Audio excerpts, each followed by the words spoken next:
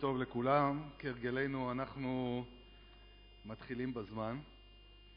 אה, כבוד אה, שר התחבורה, תשתיות הלאומיות והבטיחות בדרכים, מר ישראל כץ הצטרף אלינו במהלך המושב אה, הראשון בבוקר, נצטרף ואז נמשיך. אפרופו בטיחות בדרכים, אז אם לא שמעתם אז יש איזו תאונה בכביש 4 וכל הכביש בין אשדוד למחלף חולות חצום אז uh, יש לנו uh, אורחים שרוצים להשתתף והם תקועים שם בפקק, אני מקווה שזה ישתחרר בזמן הקרוב והם יוכלו להצטרף במהלך הבוקר. Uh, מר הרצל בודינגר, יושב ראש מכון פישר, מר דוד עברי, ממייסדי המכון ויושב ראש הראשון שלו, ראש רת"א, מר גיורא רום, מנהל רשת, מר יעקב גנות, ראשי תעשיות התעופה בישראל, אורחות ואורחים יקרים.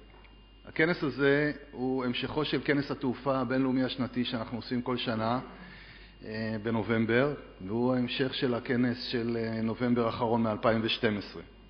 עקב אה, חשיבות נושא התשתיות החלטנו במהלך הדיונים של הוועדה האקדמית של הכנס הקודם כי נושא התשתיות הוא כה כבד ונרחב שאנחנו לא יכולים אה, להכניס אותו בתוך הכנס השנתי ואנחנו חייבים לעשות לו כנס מיוחד בנפרד של יום שלם שבו נדון בנושא הזה של תשתיות התעופה של מדינת ישראל.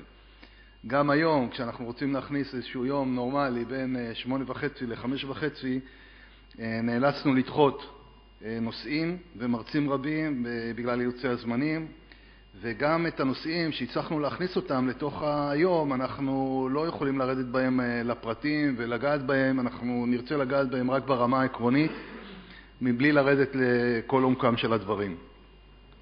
המטרה העיקרית של הכנס הזה הוא להעלות לסדר היום הציבורי ולדרבן את גורמי הממסד האחראים לנושא התשתיות, לקדם את התהליכים שיבחנו ויקבעו את פני תשתיות התעופה בישראל לעתיד לבוא.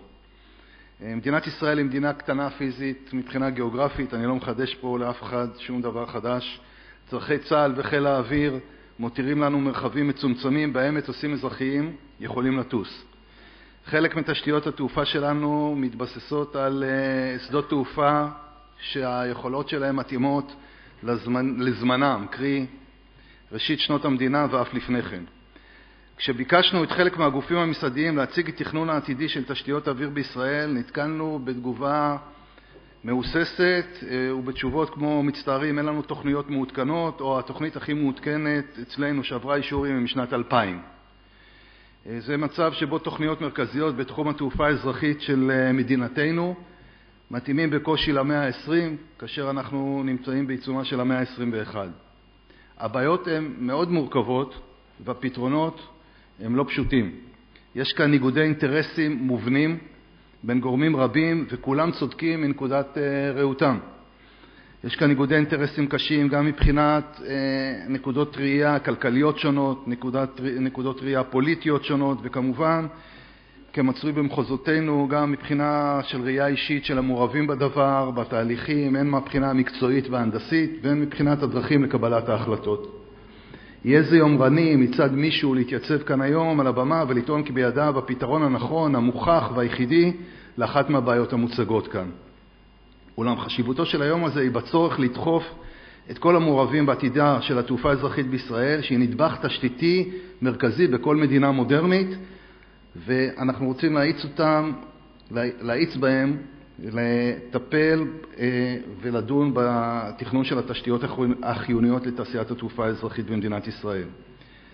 אה, יש לזכור שלא מחכים לנו. אה, מטענים ואנשים צריכים לעבור מרחקים, תיירים מחפשים אתרים לביקור, המטוסים טסים, הבניינים נבנים, הסביבה האורבנית שעוטפת את המרחבים הפתוחים לשעבר שבהם נבנו שדות תעופה, אלפי אנשים עובדים בתעשייה הזאת ומיליונים משתמשים בשירותים האלו של התעופה האזרחית.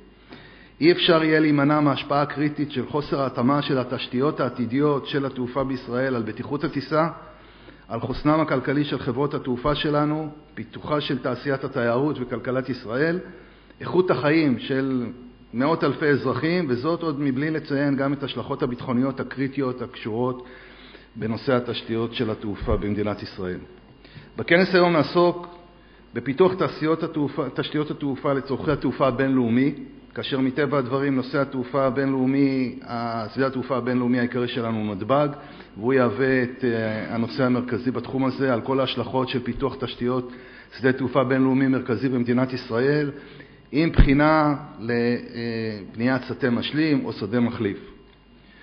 נושא שני הוא נושא התעופה הכללית במדינת ישראל, הוא נושא חשוב בכל מדינה מודרנית. יש לתת את הדעת אליו ולמצוא את הפתרונות הנכונים למצוקת משתמשי התעופה הכללית. אני שמח שגורמי התעופה הכללית, כמו אגודת התעופה הכללית, נרתמו גם הם להשתלב בכנסים שלנו באופן פעיל, והם עוזרים לנו בצד התוכני של הכנסים. הנושא האחרון בו נעסוק הוא בדיקת רעיון בניית שדה תעופה על אי בים.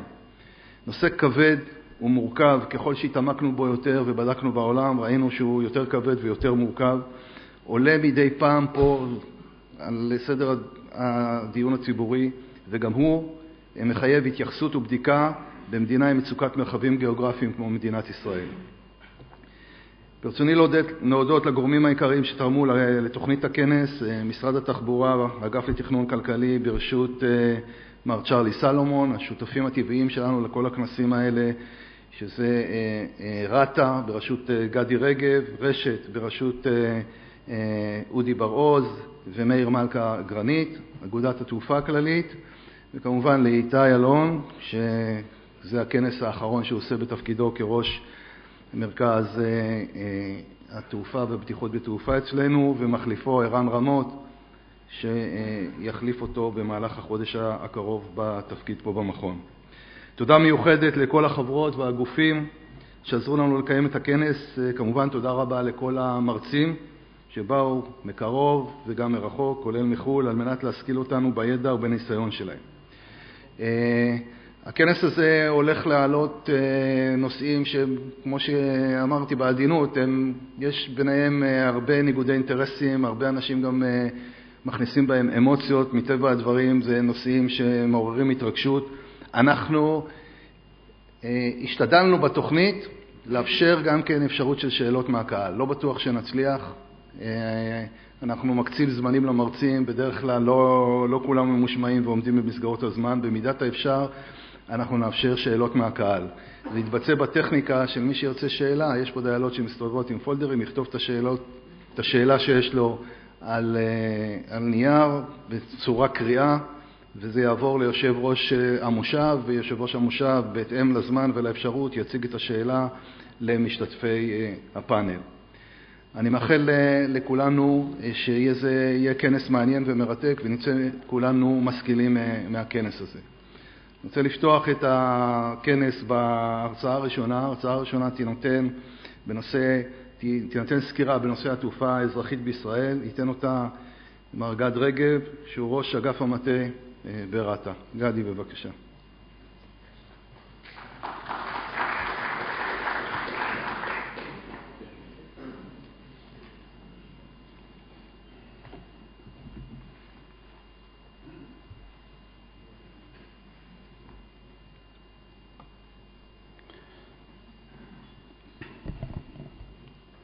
בוקר טוב לכולם.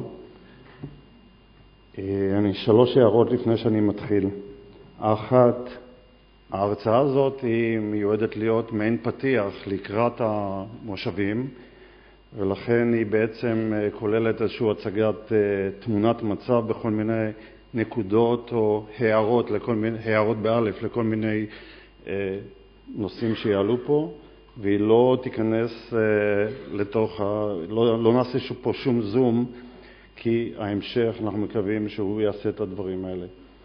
הערה שנייה, המילה תשתיות תעופה, הכנס הזה הוא תשתיות תעופה, המילה תשתיות תעופה היא מילה רחבה מעין כמוה, כמעט כמו המילה בטיחות. אפשר לשים הכל בתשתיות תעופה. אנחנו, לפחות מהזווית של, כשחשבנו על הכנס הזה, התכוונו לדבר על שני נושאים עיקריים. אחד זה הצד הנדל"ני, הצד התשתית הפיזית, והדבר השני זה החלק של התשתית האווירית, שהיא בעצם המשלים לכל שדה, לכל שדה תעופה, לכל פעילות אווירית. הערה שלישית, ההרצאה הזאת מתחלקת לשניים, שלי. אני אציג בהתחלה כאן בכמה שקפים, מגמות בתעופה, לאן התעופה, גם העולמית וגם הישראלית, בכמה פרמטרים לאן היא הולכת, כדי לקבל לרגע את התחושה במישור הקצת יותר עקרוני. והחלק השני הוא יותר זום על התעופה בישראל עצמה. אנחנו נתייחס למגזרים השונים של התעופה ונרוץ. ארבעה פרמטרים עיקריים שאני רוצה להתייחס אליהם רק כדי לתת כיוון עיקרי. אחד זה הנושא של כמות נוסעים שטסים בעולם בתעופה.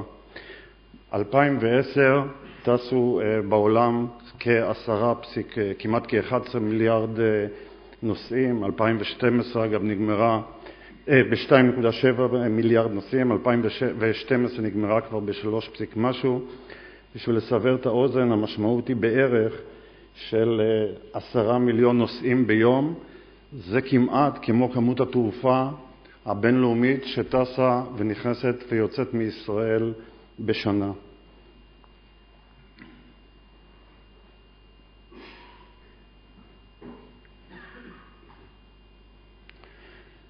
האנשים האלה צריכים לטוס במטוסים.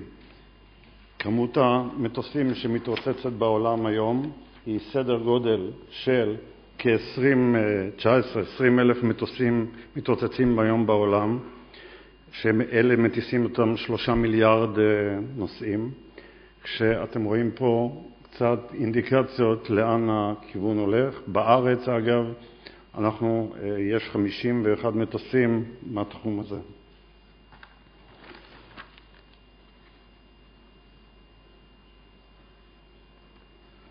movement, תנועות. התעופה מייצרת בסדר גודל של כ-56-60 מיליון תנועות, סליחה, התעופה מייצרת סדר גודל של כ-25 מיליון תנועות בשנה. אנחנו מדברים, רק בשביל לסבר את האוזן, על 70 אלף תנועות ביום של מטוסים בכל העולם. שוב פעם, בשביל לסבר את האוזן, במדינת ישראל בשנה אנחנו מייצרים סדר גודל של כ-110 אלף תנועות, שזה גם הפנים-ארצי וגם הבינלאומי.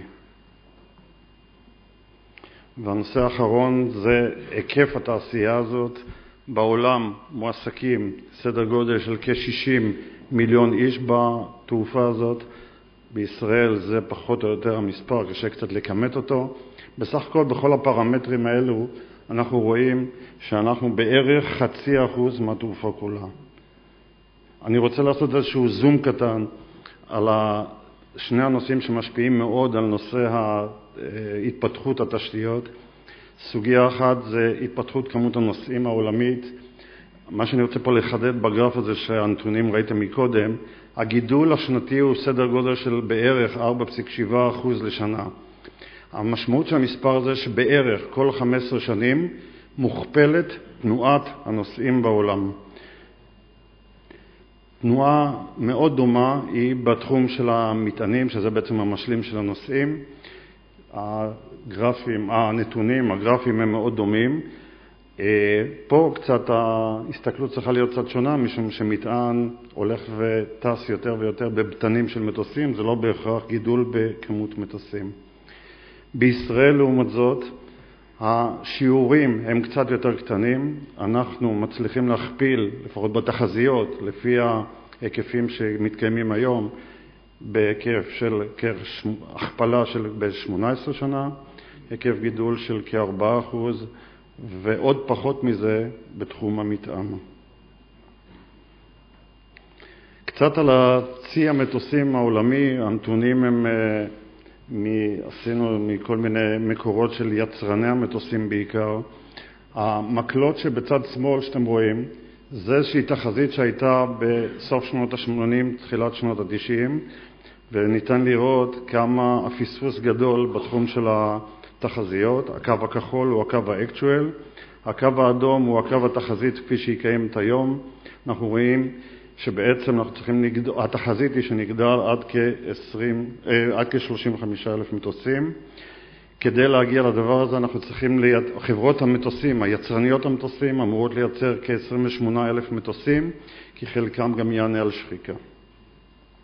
זה בגדול היקפים העצומים שהדברים האלה אה, הולכים להיות אה, עלינו, נכפים עלינו, ואנחנו צריכים עליהם להתכונן. אני רוצה להיכנס לחלק השני, שהוא העיקרי, קצת לתת תמונה על סטטוס התשתיות הקרקעיות בישראל. אני אעשה את זה בראייה של המגזרים השונים של התעופה, של ארבעת המגזרים, כי לכל מגזר יש את הבעיות שלו. המובילים האוויריים בישראל קיימים ארבעה מפעילים אה, ישראליים, הם מפעילים כ-50 מטוסים שחלקם בבעלות וחלקם חכורים.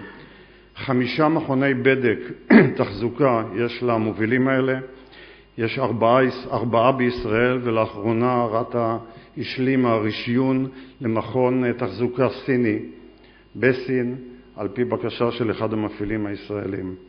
היקף כוח האדם כ-700 טייסים וכ-1,700 אה, טכנאים. וכמובן יש פקחים וכל ה... מאחורי זה גם את כל הרקע של רשת, שזה אלפי אנשים. זה השדות העיקריים שבהם משתמשת התעופה הכבדה, המובילים. יש את השדות העיקריים, שזה אה, כמובן אה, בן גוריון, שדה דוב, אה, עובדה ואילת, ושני היותר שוליים בעניין הזה זה חיפה, שהוא משמש שימוש מאוד מזערי, וראש פינה שכמעט בכלל היום כבר לא משמש לזה יותר. בן גוריון, השיפוץ, או הפרויקט השיפוץ המסלולים הענק שהוחל בו לפני כשנתיים, נמצא בשלב, מתחיל את הפיינל שלו, צפי לסיום פברואר 2014. ראש פינה, היקף פעילות, מה שמאפיין אותו זה היקף פעילות נמוך מאוד. חיפה הוא השינוי הגדול שחל בו בשנה האחרונה, שהוא עבר מחיל האוויר להפעלה מלאה של רש"ת, וכנראה בעתיד הוא בצורה כזאת או אחרת יושפע מהרחבת הנמל צפונה. שדה דוב, שדה דוב שכיום משמש לפנים הארצי ולבינלאומי, צפוי להיסגר באיזשהו מקום בין 2016 ל-2018. הכוונה להעביר את ה... אנחנו פה בתוך פרק המובילים, הכוונה היא להעביר את כל הפעילות של המובילים לנתב"ג. עובדה שמשמש כיום לצ'רטרים לאילת, השינוי העיקרי שחל בו, והוא שינוי בטיחותי משמעותי, זה ההתקנה, רשת התקינה את אה, ILS למסלול 2.1, שזה מבחינתנו מימד בטיחותי באמת קפיצת מדרגה, ואנחנו מדגישים שלמרות הכל הוא לא מוגדר כשדה אלטרנט של מדינת ישראל. אילת שדה עם הרבה מאוד מגבלות אה, סביבתיות, מעבר לעוד מגבלות שכפי שאתמול ראיתם, ועם הפעלת תמנע הוא ייסגר. לאן אנחנו הולכים עם התעופה הכבדה מבחינת תשתיות? זה, זה הדברים שהולכים לקרות. תמנע או שדה רמון צפוי להיפתח באיזשהו מקום 2016 פלוס. הוא יהיה תחליף לאילת ועובדה שבסופו של דבר אילת ייסגר לגמרי, עובדה ייסגר, לפי, אמור להיסגר לפעילות אה, של התעופה האזרחית, ובנוסף לזה הוא יהווה שדה אלטרנט לכל דבר ועניין. שדה דוב, כפי שכבר אמרנו, הולך להיסגר, והסוגיה המרכזית שנשארה על הפרק בתחום המובילים זה שדה משלים. הנושא הזה נמצא על שולחן הממשלה, ממתין להחלטת ממשלה. אנחנו מקווים שהדבר הזה יגיע בקרוב. ארבעת הסוגיות העיקריות שנמצאות על השולחן בתחום של המובילים, אחד זה השלמת הפרויקט בנתב"ג, ויחד איתו מגיע כל הנושא של הכניסה מצפון, אני מניח שזה יהיה חלק משמעותי בהמשך הדיון. סוגיית השדה המשלים שנמצאת על שולחן ממשלה, השלמת, או יותר מהשלמה, של תמנע רמון, וסוגיית האלטרנט שסוף כל סוף תבוא אז לפתרונה. המגזר השני זה התעופה הכללית. בתעופה הכללית הוא מגזר מסובך, מורכב, אה, במידה מסוימת הוא הרבה פחות מסודר ומוסדר מתעופת המובילים. פועלים בו כ-25 מפעילים עם הרבה מאוד סוגים של אה, פעילויות, משימות, וזה חלק מהמורכבות שלו. יש, אה, בנוסף לו, אנחנו, יש גם מפעילי בלונים, שזה בכלל עולם חדש, אנחנו נכנסו פה בארץ בשנים האחרונות, שזה מסבך עוד יותר את העניין. פועלים בארץ כ-210 מטוסים, אני מחדד את העניין של המסוקים, זה, היקף המסוקים גדל מאוד בשנתיים האחרונות, בעיקר על רקע העניין של אסדות הנפט והגז, ובאמת הנושא השני שמחדד פה, שכדאי לחדד, זה נושא הבלונים, שהוא תופס יותר ויותר מקום, לפחות ברת"א הוא מעסיק אותנו מאוד.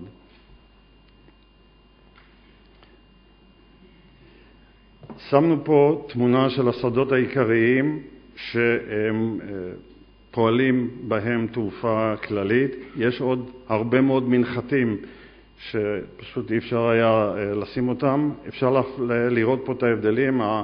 יש את השדות שמנוהלים על ידי רשות שדות התעופה, ושמנו פה את שני המנחתים העיקריים שהם לא בטיפול של רש"ת ושהם עסוקים מאוד בתחום של התעופה הכללית. בשדה דוב יושבים קבוע כ-30 מטוסי תעופה כללית, אנחנו יודעים כבר שהוא הולך להיסגר. הרצליה, שזה השדה העיקרי, הבסיס העיקרי של התעופה הכללית בישראל, יש שמונה מפעילים, כ-120 מטוסים, מכוני בדק, וכרגע לפחות הוא מתוכנן להיסגר כבר ב-2015. חיפה, יש הרבה מאוד מטוסים, הוא, אין ספק שהוא גם יושפע כתוצאה מהסגירות של הרצליה שדה דוב, ההיקף עוד לא ברור. ראש פינה, יש שם קבוע מטוסים, ובכלל לגבי ראש פינה אנחנו קצת בוחנים את השינוי, ייתכן שיהיה שם שינוי של מוד הפעילות של השדה הזה. שני המנחתים הגדולים שהם לא בטיפול של רשת עסוקים מאוד, גם באמצע השבוע אבל בעיקר בסופי שבוע. כמו שאתם רואים, רק במגידו יש כ-70 אה, מטוסים, שזה הדאונים והמטוסים, שלא, שלא לדבר על הכטב"ם שמסתובבים שם, ולכן ייתכן שיום אחד הצורה שלו והסטטוס שלו ישתנו. השני, המנחת השני, שהוא אה, הגדול, זה שדה תימן. גם הוא אולי יושפע מכל השינויים של הרצליה שדה דוב, וגם בו יש היקף פעילות מאוד גדול. הוא, בחס... הוא חוסה כל הזמן גם תחת אה, חצרים ובית ספר לטיסה ומאוד מושפע מזה. בראייה העתידית, הרצליה זה דוב, כפי שאנחנו יודעים, שהם המרכזים של התעופה הכללית הולכים להיסגר. אנחנו אה, נעשית כרגע עבודה כזאת כולל החלטת ממשלה שקיימת כבר לגבי אה, שדה אה, מחליף, עין שמר, הוא אה, עלה בהחלטת ממשלה והוא כרגע נמצא בתהליך בחינה של האם באמת אפשר לממש את זה. שתי הסוגיות העיקריות, כמו שכבר אמרנו. יש שני ענפים נוספים של התעופה שהם פחות יבואו לידי ביטוי היום, אבל הם מאוד משמעותיים. הם פחות אולי אה, משפיעים ישירות על היקף התשתיות המועסקות היום, אבל אני, אי אפשר לדלג עליהם לגמרי. אחד זה הכטב"ם, הכטב"ם בעבר בעצם היה רק צבאי, היום הוא הופך להיות אה, יותר ויותר אזרחי. כ-60 כלי טיס, אני מדבר פה על כטב"ם אזרחי בלבד כמובן ולא על הצבאי, כ-60 כלי טיס רשומים במרשם המטוסים של רת"א, מייצרים אלפי שעות טיסה. שחלקם הולכים לניסויים הדרכות וחלקם, הרבה מאוד שעות טיסה, מייצרים עבור מערכת הביטחון. זה התפלגות הפעילויות של התעופה, תעופת הכטב"ם. אלביט פועלים משני מקומות, מפיק ברמת הגולן וממגידו, שזה מצטרף לתעופה הכללית ולדאונים. עין שמר יושבת בו תעשייה אווירית, וגבולות וקציעות יושבת אה, אירונאוטיקס. אני מחדד את העניין שהכטב"מים, אנחנו מפעילים אותם או מופעלים מדי פעם גם עם מנחתים נוספים, מצדה, אה, דימונה, וזה לפי פר פרויקט אה, ספציפי. הכטב"ם, אין ספק שזה נושא שהוא בעלייה, הצרכים שלו גם בתחום התשתיות ילכו ויגדלו, בעוד שהפתרונות, אנחנו לא מוצאים אותם כל כך. וסוגיה קשה מאוד אחרת שמשפיעה על העניין הזה זה איך לשלב את אה, הסוג, הטיסה של הכטב"ם עם סוגי תעופה אחרים. תעופה ספורטיבית הוא עוד פחות מעורב בתוך, אה, בתוך התשתיות שעליהן עיקר היום הזה יושב, אבל אי אפשר שלא לציין את זה. יש כ-200, 220 מטוסים שמתפלגים ראשון לציון, תנובות ועין ורד ועוד הרבה אחרים. תשימו לב למספר מתחת לזה, כאלף מרחפים בסופי שבוע מסתובבים בשמי מדינת ישראל. אמ, הרבה מאוד טייסים עוסקים בזה, הרבה מאוד אנשים. הסוגיות העיקריות בתעופה ספורטיבית הן אה, מצאנו להם איזשהו דרך, איזושהי סדרת נתיבים על ידי השלמת מפת הגובה הנמוך שרת"א ייצרה יחד עם חיל האוויר ועם רשות שדות התעופה. הדברים היום הרבה יותר מוסדרים מצד אחד ונוחים לתעופה הזאת. אנחנו כרגע בעיצומה של עבודת חקיקה לטפל בכל הנושאים של מנחתים מיוחדים, שגם זה יאפשר להם לחיות וליהנות מהתעופה כפי שהם בעצם לזה הם עושים את זה. סיכום, אנחנו אה, מוטרדים מאוד מנושא התשתיות. בתחום המובילים יש אה, הנושאים שלפניכם הם נושאים כבדים מאוד, כל אחד בפני עצמו, אנחנו נשמע עליהם בהמשך. התשתיות לתעופה הקלה, לכאורה, אם המצב היה נמשך, זה היה מצב סביר. סגירת שדה דב והרצליה מהווים לתחום הזה, מבחינתנו, סוגיה קריטית, מה עוד שהפתרון גם רחוק וגם לא ברור. כל השאר סביר. נקווה שנקבל היום תשובות. תודה רבה.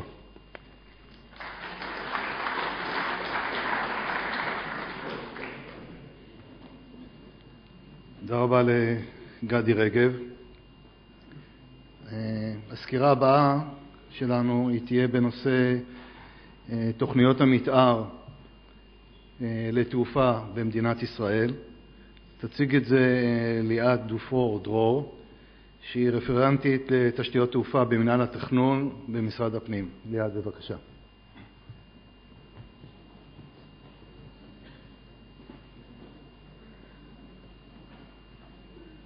בוקר טוב, אני אה, מחליפה היום את אילנה שפרן, שלצערה לא תוכל להגיע בשעה זו. אה, זה לא פודיום לגמדים, זוז טיפה.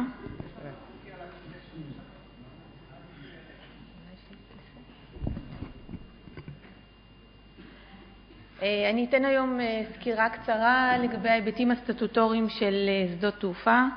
אה, איפה אנחנו נמצאים באופן כללי ואיזה אתגרים עומדים בפנינו.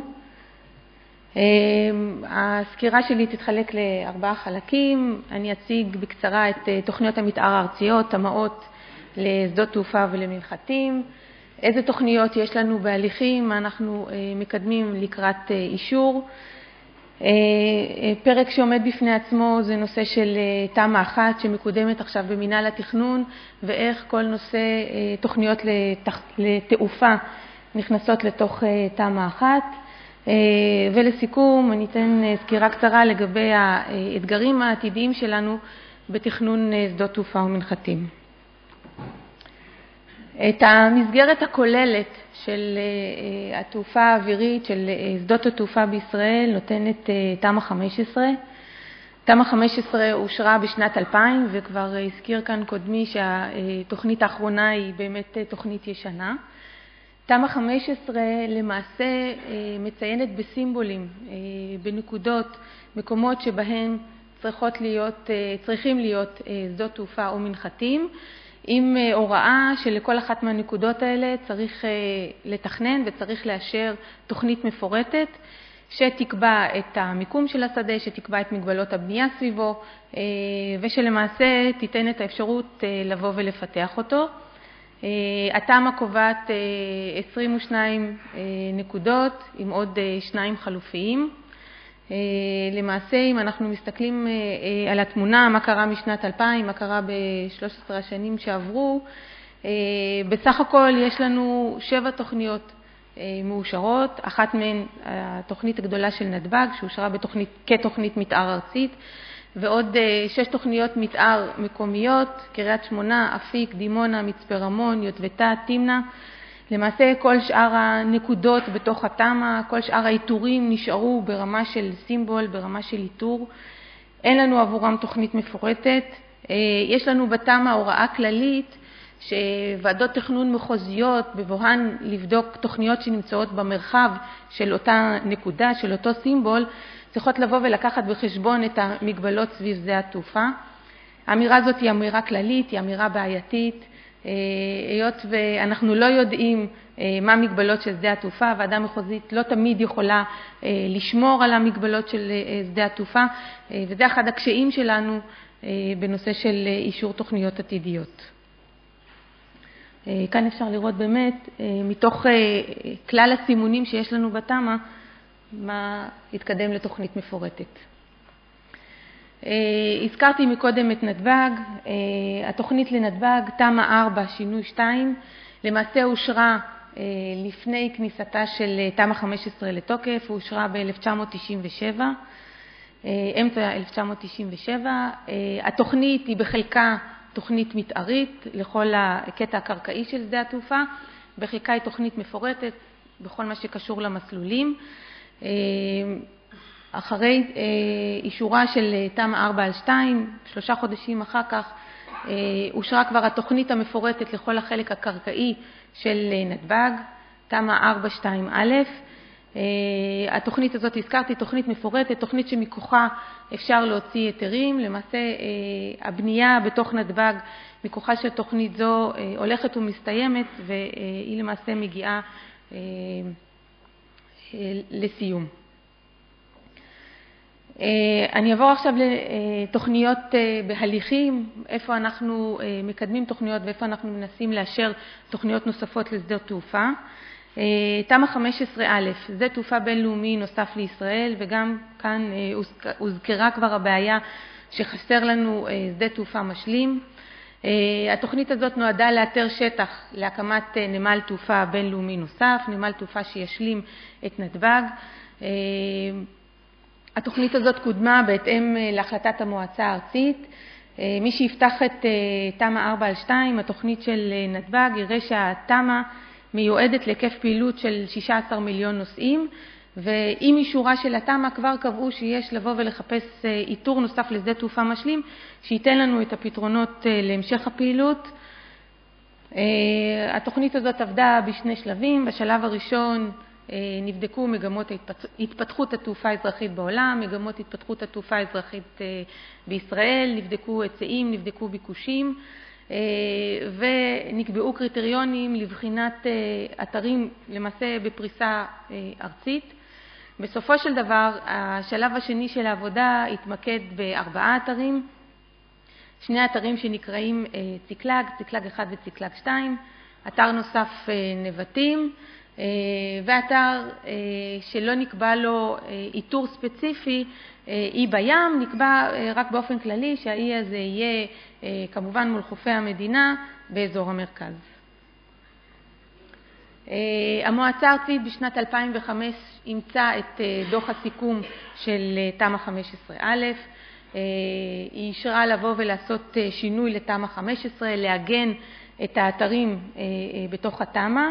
כשכאן אה, הייתה התרכזות שוב באותם אה, אתרים ספציפיים שנבחרו להמשך קידום, אתרי ציקלג, אה, נבטים והנושא של אי בים, כאשר הייתה עוד קביעה אחת חשובה, שציקלג ונבטים יהיו אתרים חלופים זה לזה, כלומר לא יקודמו שני האתרים אלא אחד מהם. בסופו של דבר הקידום של נושא, של נושא שדה תעופה משלים התחיל בתוך, אה, בשם אחר, בתוכנית שנקראה תמ"א 15 על 1. אה, שוב, הוספת נבטים וציקלג לתמ"א 15 כאתרים פוטנציאליים, והתוכנית הזאת אושרה על ידי ועדת שרים בשנת 2007. היא לא קיבלה את אישור הממשלה בעקבות ערר של שר הביטחון. למעשה הערר הזה תלוי ועומד עד היום והוא החסם אה, לאישור התוכנית הזאת ולקידום שדה התעופה המשלים. אה, אותה המלצה שהזכרתי מקודם, לבוא ולעגן את אותם שדות תעופה בתוך תמ"א 15, אמרה שלאחר שאנחנו נעגן אותם בתמ"א אנחנו לא נעצור כאן אלא נמשיך לקידום סטטוטורי, לקידום של תוכנית מפורטת שמכוחה יהיה אפשר באמת להקים את שדה התעופה כשדה תעופה משלים נוסף. אני אעבור עכשיו לנושא של תמ"א 1. הזכרתי מקודם תמ"א 1, פרויקט שמנהל התכנון עוסק בו בחודשים האחרונים. הנושא עלה בעקבות החלטת ממשלה וקיבל בהמשך גם החלטה של המועצה הארצית. התוכנית עצמה באה לבוא ולעשות איזשהו סדר בתוך הערב הרב של התוכניות שיש לנו ברמה הארצית.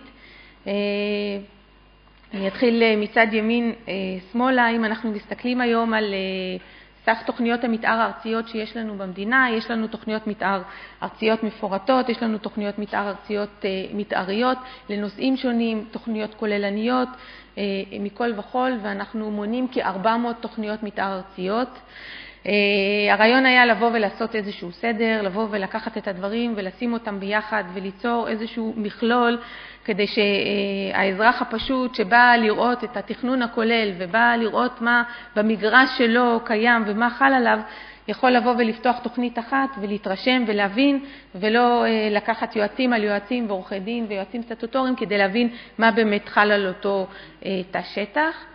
את אותם 400 תוכניות אנחנו ממיינים ואנחנו מקבצים על פי תחומים. התחומים העיקריים שהוחלט עליהם הם נושאים של אנרגיה, מים, תחבורה ושטחים פתוחים, כאשר נושא שדות התעופה והמנחתים נכנס תחת נושא התחבורה.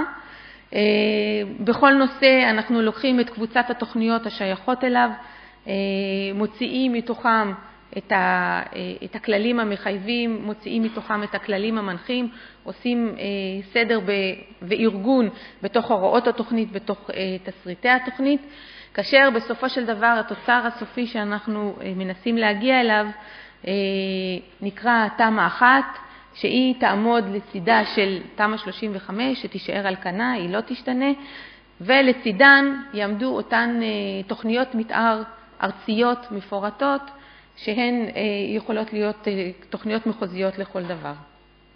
אם אני אכנס ספציפית לתוך נושא התעופה, הרי שתמ"א 15, התמ"א המתארית לשדות תעופה ומנחתים, תהיה חלק מתמ"א 1, היא תיכנס לתוך התסריט הכולל של תמ"א 1 עם ההוראות הספציפיות שהיא נותנת להכנת תוכניות. התוכניות של נתב"ג כתוכניות מפורטות יישארו על כנן כתוכניות שמכוחן ניתן להוציא היתרים והם לא ייכנסו לתוך המערך הכולל.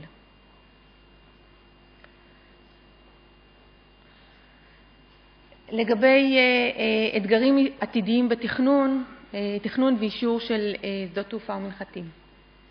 לגבי התוכנית הכוללנית, תמ"א 15 והבנות שלה, תמ"א 15א ותמ"א 15א1.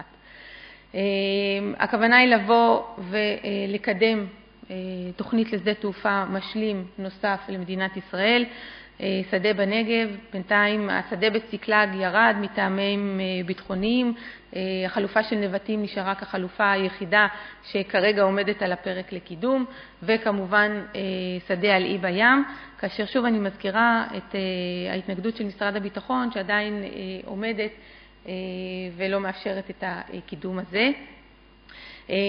תמ"א 15, בעיקר במהלך העבודה על תמ"א 1, הבנו וגם אפשר להבין מהשנה שבה אושרה התמ"א, שהתוכנית הזאת צריכה איזושהי רוויזיה.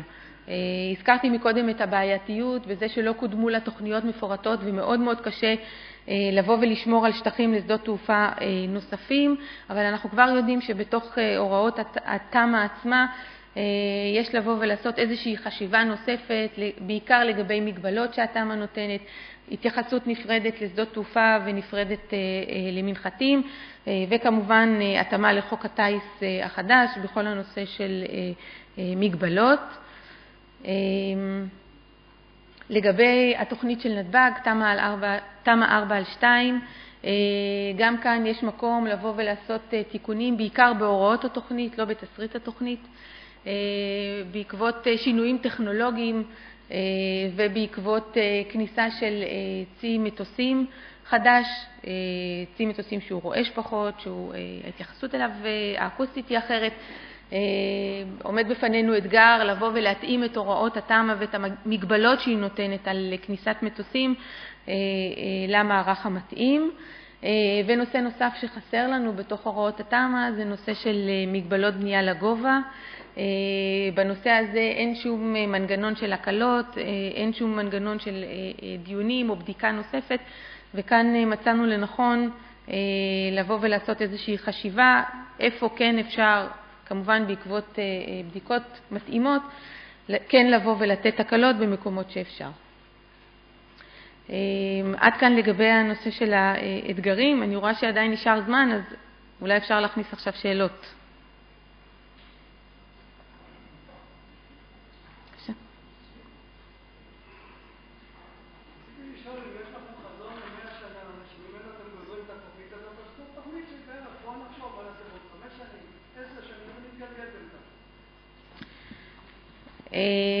קודם כל, אני רוצה לציין שהחזון הוא לא חזון בלעדי של משרד הפנים. אני מניחה שאתה מתכוון לתמ"א 15. החזון למעשה הוא חזון משותף שצריך לבוא ולהיבנות ביחד עם רשות שדות התעופה, רשות, רשות התעופה האזרחית. למעשה, כמו שהזכרתי מקודם, מה שקיים לנו זה תמ"א 15 ותמ"א 15 בלבד. תמ"א 15 לא נותנת לנו אופק תכנוני ל-100 שנה, היא נותנת לנו אופק תכנוני לפחות, ואם אנחנו לא נבוא ונזדרז ונאשר תוכניות מפורטות, אז יכול להיות שגם חלק ממנה לא יוכל לבוא ולהתאשר. ואני חושבת שהשאלה שלך למעשה שמה את האצבע על האתגר החשוב ביותר. אנחנו צריכים להתאים את התכנון הסטטוטורי לתחזיות שלנו, לחזון שלנו, לשנים הבאות. הוזכר פה הנושא של ציפוף, הוזכר פה הנושא של תחרות על, תחרות על שטח, ואני חושבת שזה באמת, כמו שהזכרתי, אחד האתגרים החשובים בעניין.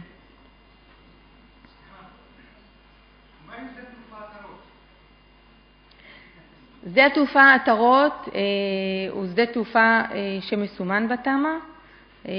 לעניין התפעול שלו, אני חושבת שיהיה נכון יותר לשאול את רת"א. לא, הוא לא נסגר בגלל היבטים סטטוטוריים. השדה שמור, הוא שמור גם בתוך התוכנית המתאר של ירושלים, לרבות המגבלות שלו, והבעיה שלו היא לא בעיה סטטוטורית, היא בעיה אחרת. כן.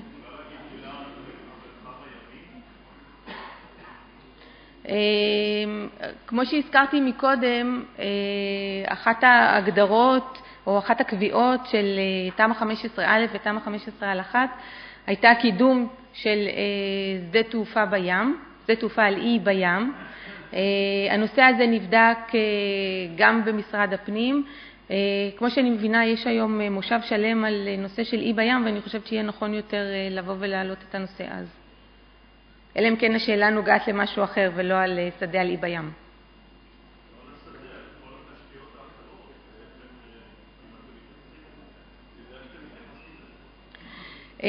נכון לעכשיו, משרד הפנים ביחד עם משרדים נוספים עורך איזושהי תוכנית כללית לנושא הימי.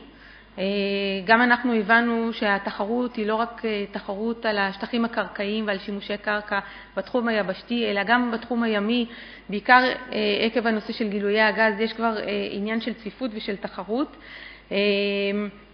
והכוונה היא לבוא ולעשות איזשהו סדר גם בתוך המרחב הימי, לבוא ולמפות אותו, לבוא ולבדוק מה יש, מה הצרכים, איזה צרכים עתידיים יש ומה אפשר לשלב עדיין בתוכו.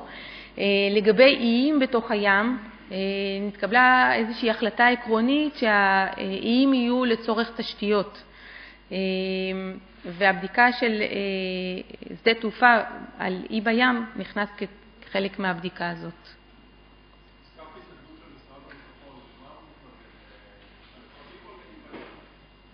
לנבטים, לשדה תעופה נבטים, לא לאי בים.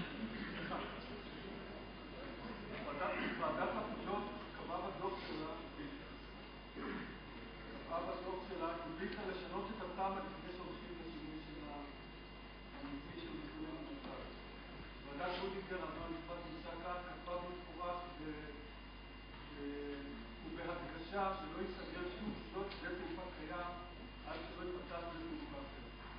שני הדברים האלה לא יתקיימו. משהו תגיד על זה. נכון לעכשיו, אה, אנחנו לא מקדמים שום מהלך לבוא ולסגור אה, אה, שדה תעופה, מלבד המהלכים שנקבעו כבר לגבי שדה דוב ושדה תעופה הרצליה.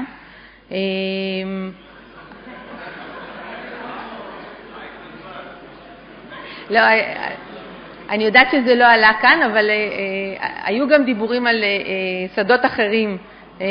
כמו שהזכרתי, התחרות היא עזה, ואנחנו עדיין אה, שומרים בקנאות על כל מה שסומן לנו בתמ"א 15. אנחנו אה, מבחינה סטטוטורית אה, לא יכולים להתווכח לא עם החלטות של בית משפט ולא עם אה, אה, אה, קביעות ברמה של אה, מועצה ארצית. אה, שוב, הקידום של התכנון הוא לא קידום שנעשה חד-צדדית אה, בצד של משרד הפנים, אנחנו צריכים אה, איזשהו שיתוף פעולה משאר הגורמים, ואני גם יוצאת פה בקריאה, אה, זה המקום וזה הזמן לבוא ולקדם גם את השדות האחרים ולבוא ולמצוא את הפתרונות.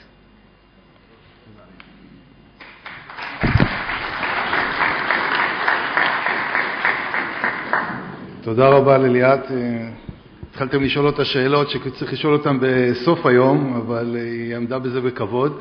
אה, היא די בעדינות אמרה את המסר העיקרי, שלא מחכים לנו. הקבלנים בונים ונולדים ילדים, ברוך השם, במדינת ישראל, האוכלוסייה מתרחבת, אנחנו כבר מעל 8 מיליון, ואם אה, ענף התעופה על כל אה, שלוחותיו יחכה, אז עוד מעט לא יהיה מקום לעשות, אולי כבר גם בים עוד מעט לא יהיה לנו מקום לעשות שדה תעופה.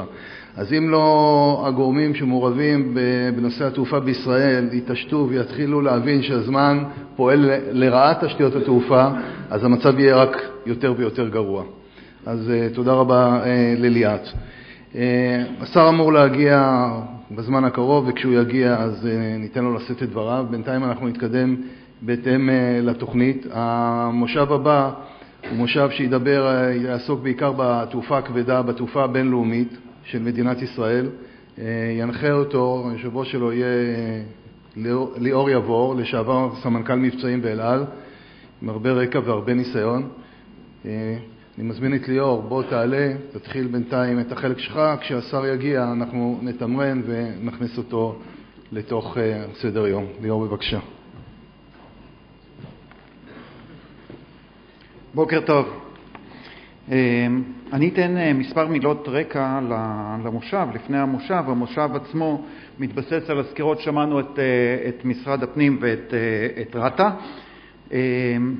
ייתן עוד אודי גנות, סליחה אודי, אודי בר-עוז, מספר מילים על, על התשתיות בנתב"ג. אודי הוא סמנכ"ל המבצעים ברש"ת. מוטי שמואלי מדבר על המענה והתשתיות האוויריות לשינוי בנתב"ג. מוטי ראש אגף תשתיות ברת"א. מר משה סיני, ראש עיריית ראש העין מזה עשר שנים, מהצד של הנפגעים, מהצד של מקבלי הרעש. וצ'רלי סלומון, סמנכ"ל בכיר בתכנון כלכלי במשרד התחבורה, ייתן את הרקע.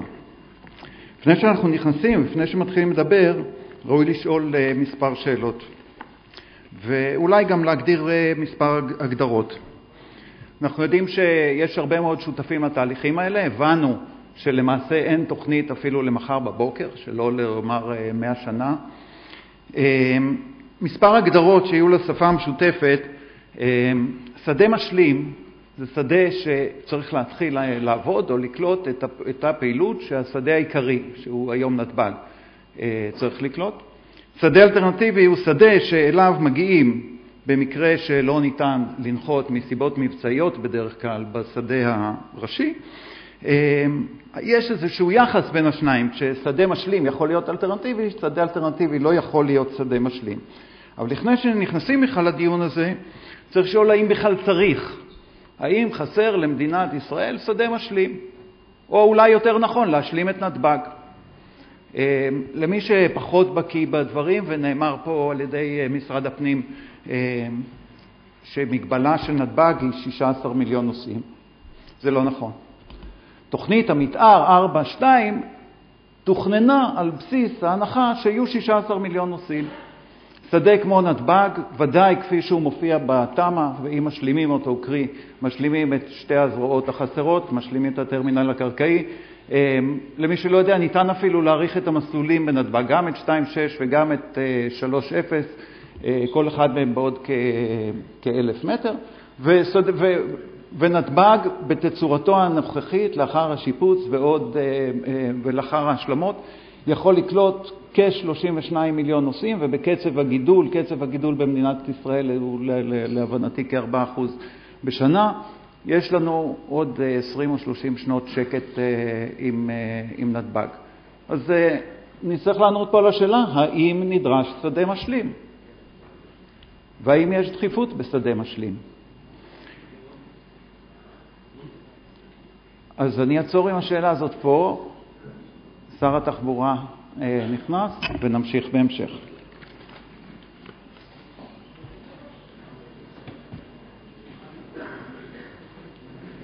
טוב, זה בדיוק אה, קטע טוב כשליאור זרק את השאלה האם נכון שצריך אה, שדה משלים מעל 16 מיליון נוסעים בנתב"ג. אשאיר לכם את האתגר לתחילת המושב הבא. אני מתכבד להזמין את כבוד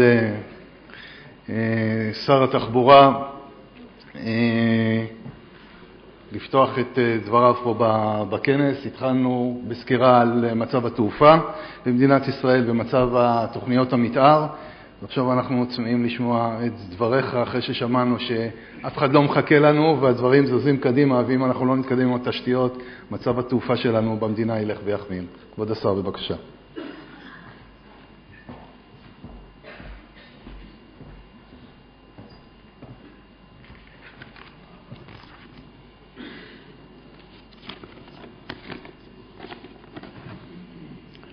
תודה רבה ובוקר טוב. אני שמח אה, להשתתף אה, בפעם נוספת בכנס החשוב הזה שאתם אה, יוזמים ומקיימים.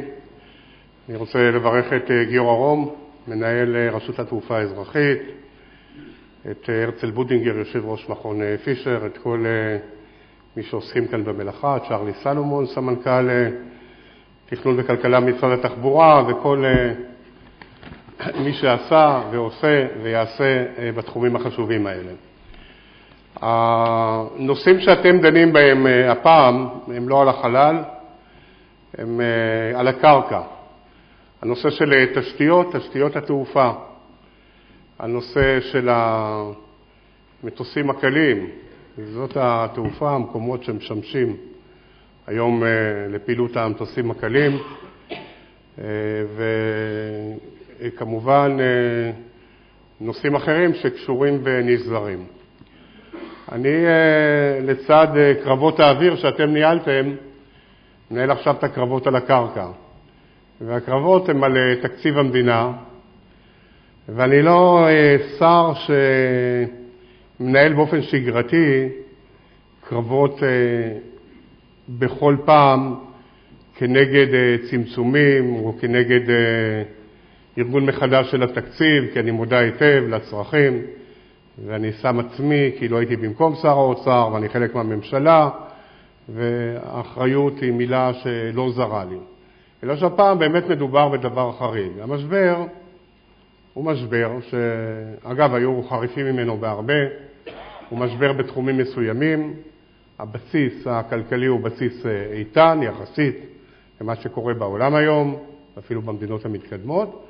צריך לבצע פעולות, והשאלה איך ניגשים לבצע אותן.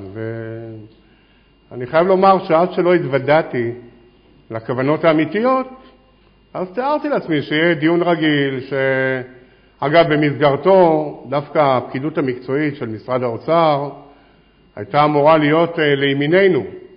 בדרך כלל כשתשאל אה, אנשי כלכלה, אה, מהם שיושבים גם בעמדות, איפה הוא מעדיף שיושקעו הכספים, איפה הוא מעדיף, זה לא אומר שהוא צריך לקבוע את כל סדר העדיפות, הוא יגיד בתשתיות, כי זה מביא צמיחה, זה מביא תעסוקה, הוא פחות רוצה להשקיע בביטחון או בבריאות או ברווחה, זה לא שלא צריך להשקיע, אבל בסדר עדיפות של כלכלן, כביכול, למרות שלא הם צריכים לקבוע. ראיתי כאן מגמה הפוכה לחלוטין, הם בעצם אה, לקחו את משרד התחבורה, דווקא על רקע העובדה שנפלה הכרעה לפני כמה שנים, בתחילת הקדנציה הקודמת, אה, להציג תוכנית אה, תחבורתית שאפתנית, נתיבי ישראל, שהיא תבוא בתוספת לתקציב הרגיל של משרד התחבורה, שכולל בתוכו את מגוון הפעילויות אה, במגוון התחומים.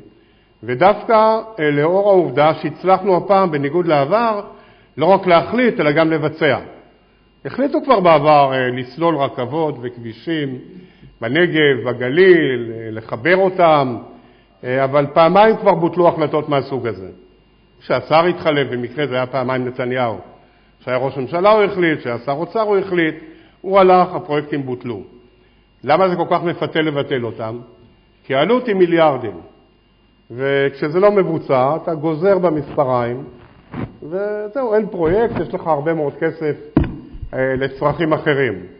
אבל המטרות, המטרות של אותם אה, פרויקטים, אותם פרויקטים, הן מטרות חשובות, אה, למתוח את אזורי הביקוש, אה, להגביר את פתרונות הדיור, אם אדם יכול לגור בזיכרון יעקב, ביוקנעם, בנתניה, בחדרה, בקריות, בעפולה, במגדל העמק, בבית-שאן אפילו, בנתיבות, באופקים, בשדרות ובקריית גת ובבאר שבע, ולעבוד במרכז, ועסקים יכולים, ומכם שעוסקים גם בתחומים, להימתח ולהתפרס יותר, אתה יוצר בעצם פעילות כלכלית, אתה יוצר בעצם שוויון. שוויון, מדברים על צדק חברתי, על פתרונות דיור, 32 דקות, 32 דקות, מקריית, ו-2, זהו, כשמתחילים לתקן אין גבול, 32 דקות, מקריית גת ללב תל אביב.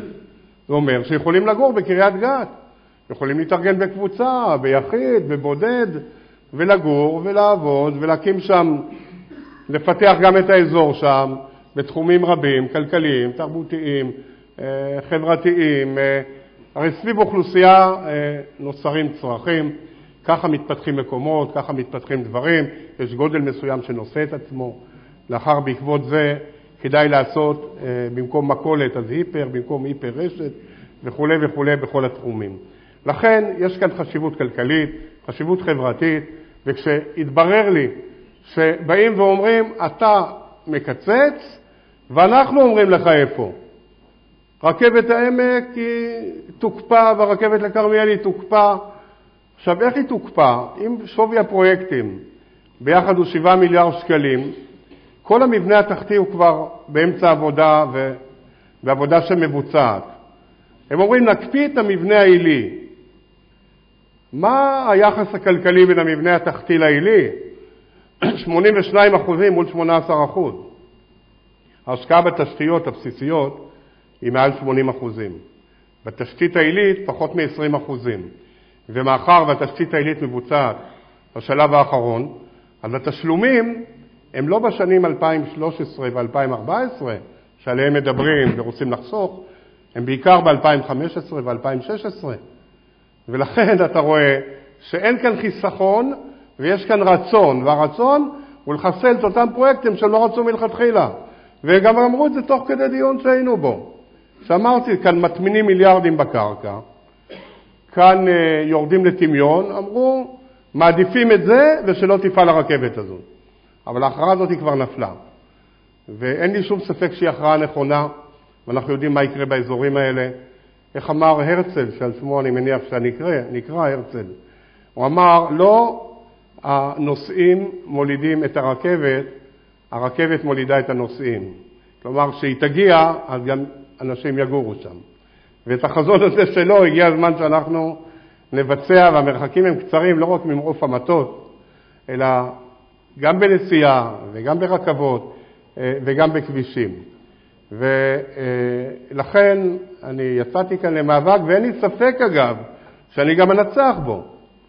כי ברגע שנחשפות העובדות והפרטים, המערכת, שהיא חיה במדינה דמוקרטית ונתונה לדעת קהל, לא יכולה לקבל החלטות עקומות ובלתי הגיוניות. וזה מביא אותנו לתחום הזה. בתחום הזה גם היה לנו מאבק על שדה התעופה רמון, לא הצבאי, האזרחי, שיוקם בתמנע. השם אילן ואסף רמון, כפי שהחלטנו, ומלי פורסם ברשומות, נכון, זה השם אה, שפורסם ברשומות, ואנחנו נניח בו אבן פינה ב-17 למאי, נדמה לי, ביחד עם אה, משפחת רמון, ונזמין גם מאנשי חיל האוויר, לפחות אלה שליוו את המשפחה, ונקיים שם טקס שתונח בו אבן פינה, אגב, אבן פינה שהונחה בעבר מספר פעמים, ומנהל שדה התעופה באילת שומר אותה. הוא לקח ושומר אותה, אבל הפעם אמרתי לו, אתה לא תניח אותה עד שיהיה ברור שזה על בסיס עבודה שכבר מתחילה באופן אמיתי. ודיברתי עם יעקב גנות, שהיה כאן ויצא וטילפן, והוא אמר לי, עכשיו אנחנו פותחים את המעטפות של המכרז לביצוע התשתיות, ולפני כמה ימים הוא התקשר ואמר, בחרנו את החברה המנהלת, ובעצם הטקס יתבצע כשכבר הכלים יהיו בשטח. והאמת שהיה כאן עוד פעם ויכוח שביצעו אותו באיחור אותם פקידי אוצר, אותם פקידי אוצר, חלק מהם גם חובשים כובע בתוך רשות שדות התעופה, וניסו לסכל החלטת ממשלה מלפני יותר משנתיים, שפעלו ליישום שלה. הם לא רצו אותה, הם לא רצו את שדה התעופה. מעניין שאתמול, אגב, נסגר שדה התעופה באילת, אה, גיורא, כן, לחלק מהטיסות, בגלל האיום אה, שמתרגש עלינו מסיני.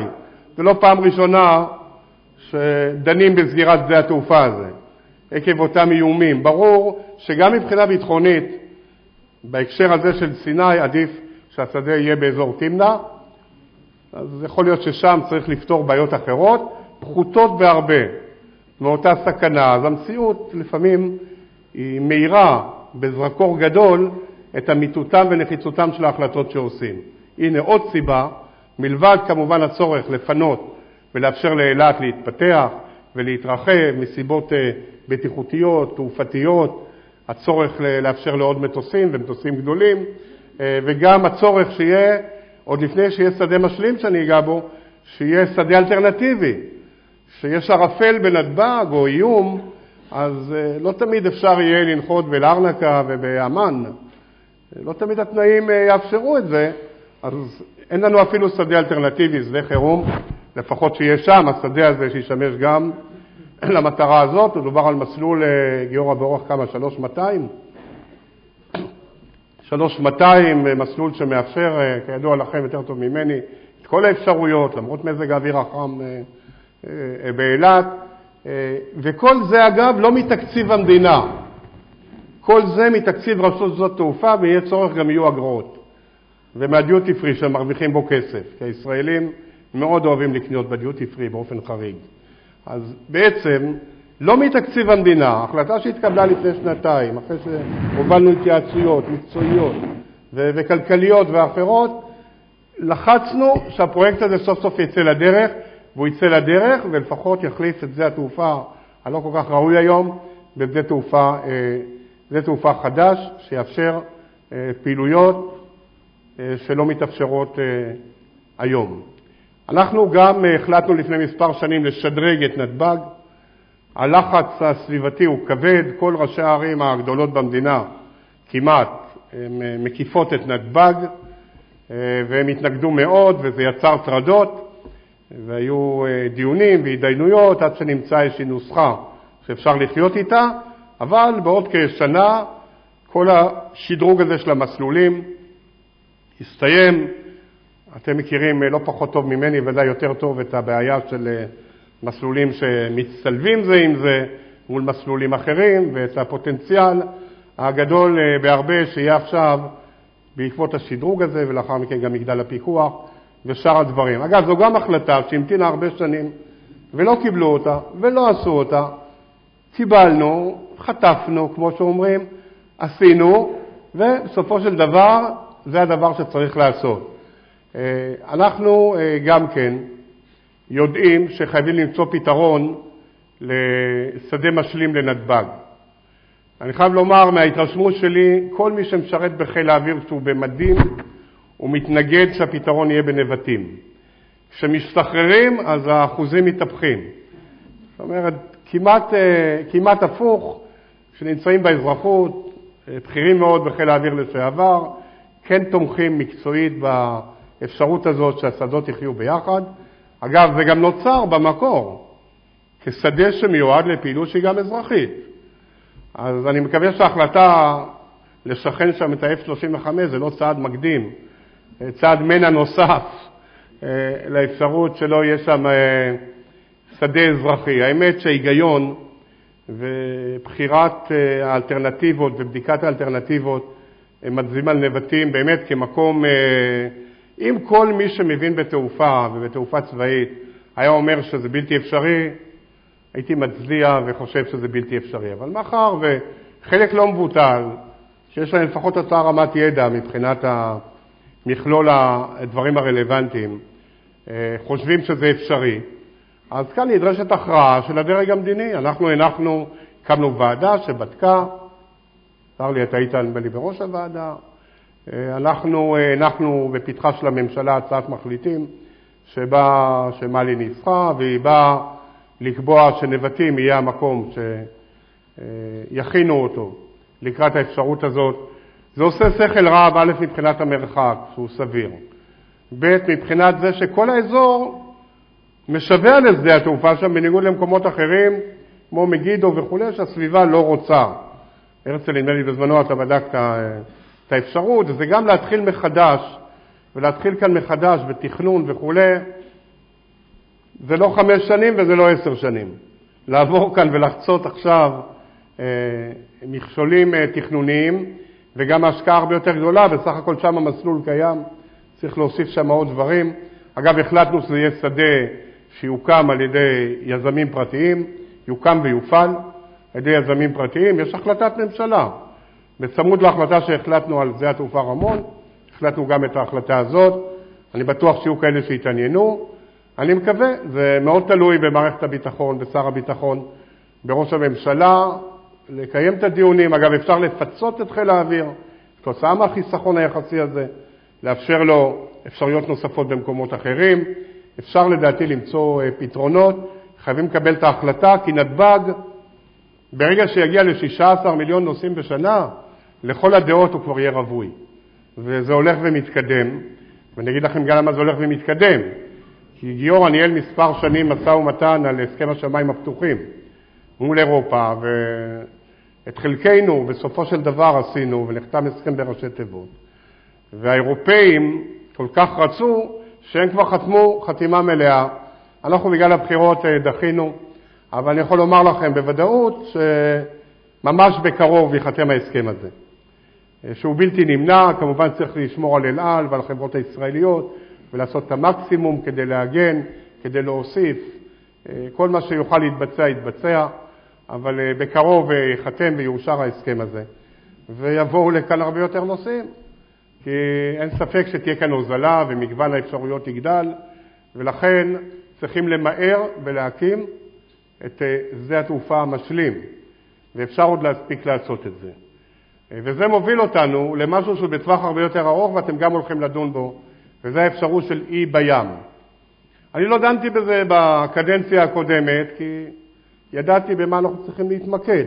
בזה, פלוס המטוסים הקלים שאני אגע בהם עוד מעט. אבל האי בים, אין ספק שהוא לא סותר את כל הדברים שאנחנו מדברים, הוא יכול להוסיף עוד אלטרנטיבות ולהקים אי בים שעליו יהיה גם שדה תעופה.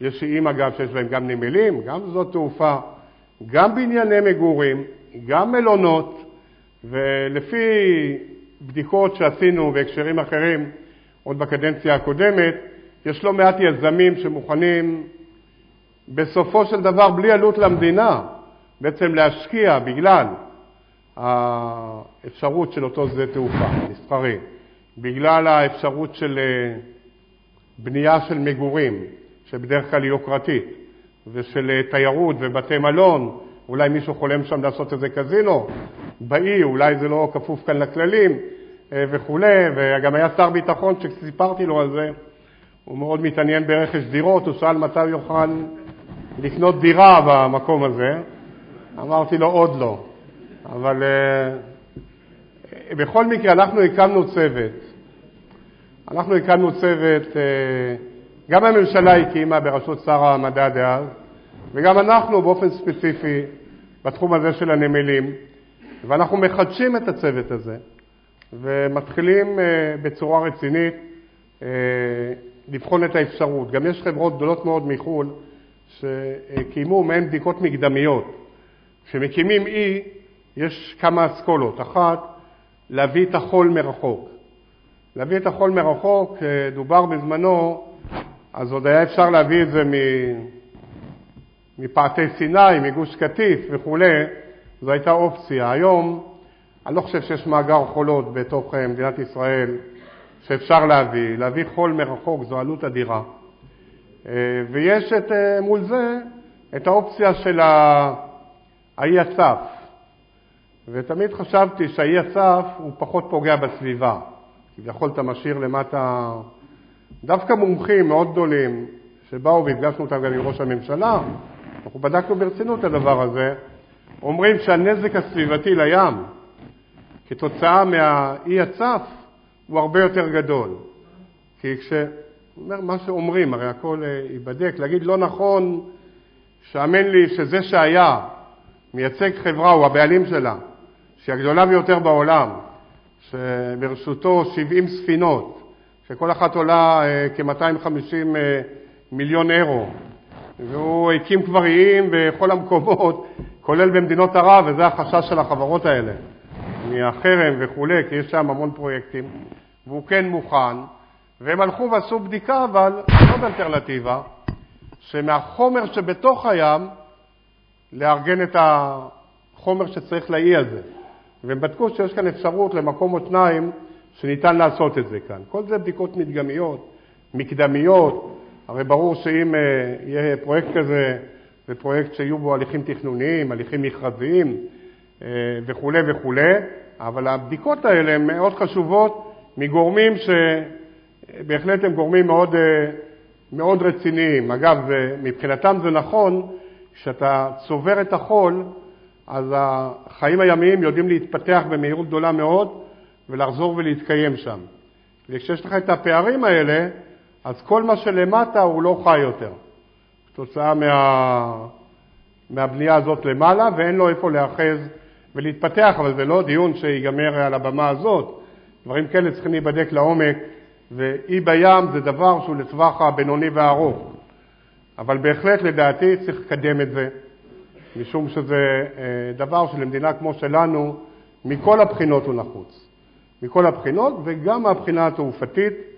ובהחלט אני מאמין שבקדנציה הזאת ובשנים האלה אנחנו נבחן ונקדם ברצינות, ואם יש כאן מומחים ואחרים, נשמח אה, שהידע יעמוד לרשות העניין. אני בקרוב לקיים ישיבה כדי לראות איך אנחנו אה, מתארגנים, כדי לבחון ולקדם גם את האפשרות הזאת.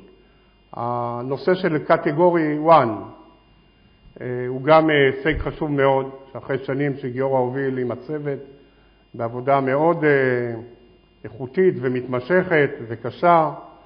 אה, זה היה הרבה יותר קשה ממה שחשבו. לרדת זה קל, לטפס זה קשה, כמו בכל תחום, ובסופו של דבר אה, זה גם כן הסתייע, וחזרנו לקטגוריה המתאימה, וגם השמיים הפתוחים וגם הדברים האחרים שציינתי, הם יכולים לאפשר בסיס לתעופה. אנחנו נשארים עם שתי החלטות שבעצם קיימות והבסיס שלהן הוא משפטי.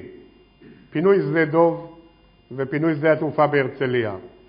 זה התחיל בעיקר מהליכים משפטיים ישנים, זה המשיך בפסיקות של בית, בתי משפט, בדרך כלל בהסכמה, אבל המדינה חתומה וגם הסכמה אחת עודכנה, נדמה לי, בהרצליה צריך עד שנת 2015, נדמה לי, אה, לפנות, ומשרד הביטחון שייצג את מדינת ישראל הגיע להסכמות כאלה לגבי שדה דוב. גם כן מבחינה משפטית, והממשלה ליוותה, לפחות לגבי שדה דוב, אה, בהחלטות את אותן, אה, את אותן הסכמות, ונקבע ששדה דוב יצטרך להתפנות. אני כשר תחבורה, האידיאולוגיה שאני מוביל היא לא לפנות שדות תעופה, אבל יחד עם זאת, שר השיכון הוא צריך לשאוף שתהיינה לו עוד קרקעות להשגת פתרונות דיור באזורי הביקוש וכולי, ואין ספק מדובר בדברים משמעותיים. אבל גם לא יכול להיות ששר תחבורה והצוות שאיתו לא יערכו מבעוד מועד למציאות שהיא ברורה, שהיא קבועה מבחינה משפטית, שיום אחד פתאום אין שדה תעופה, ומה ישאלו? למה לא ייצרתם ויצרתם את האלטרנטיבה? לא יכול להיות מצב שיודעים שיש חשש כבד ואחרי זה ודאות שלא תהיה אלטרנטיבה הזאת, או האפשרות הזאת, ולא לייצר אלטרנטיבה. לכן ההסכם שנחתם לגבי שדה דב, שבמישור האזרחי אומר שהתעופה האזרחית תעבור לנתב"ג, וכבר הוקצו לזה כספים מתוך הקרקעות המיועדות בשדה דב, ורשות שדות התעופה נערכת, כמו שבטח דיווחו, גם כן כבר להרחיב כדי לקלוט את הטיסות המסחריות. אה, הצבא נערך באמצעים שלו ובפיצויים שלו ובכספים שמיועדים לאלטרנטיבות הצבאיות, והמטוסים הקלים נשארים באוויר. אלא אם כן, אה, וזה עלול לקרות גם בהרצליה, ואנחנו כבר כמה שנים עוסקים בזה, בעיקר מול אה, צה"ל. גיורא, אתה הובלת את המגעים, גם מנכ"לי המשרד, וכרגע האפשרות הכי ריאלית נראית בעין שמר, דובר גם על מגידו, אבל בכל מקרה הדבר הזה צריך להיחתך בתקופה הקרובה, ומתוך הפיצוי על שדה דב גם כן יצטרכו לייעד, לא רק לתכנון כמו שהוחלט, אלא גם לייעד לבנייה אה, של אה, שדה תעופה למטסים קלים ולעבודות התחזוקה שלהם אה, וכל מה שקרוי. זה לא יכול להיות רחוק בלי הגבלה. אני חושב שצריך לשמר את התחום הזה, מתוך הנחה שהבסיס המשפטי לגבי שדה דב זה נראה דבר שהוא כבר בגדר תהליך ברור, וגם לגבי הרצליה אני יודע שיש דעות אחרות. השאלה אם הדעות האחרות יודעות להביא מציאות אחרת.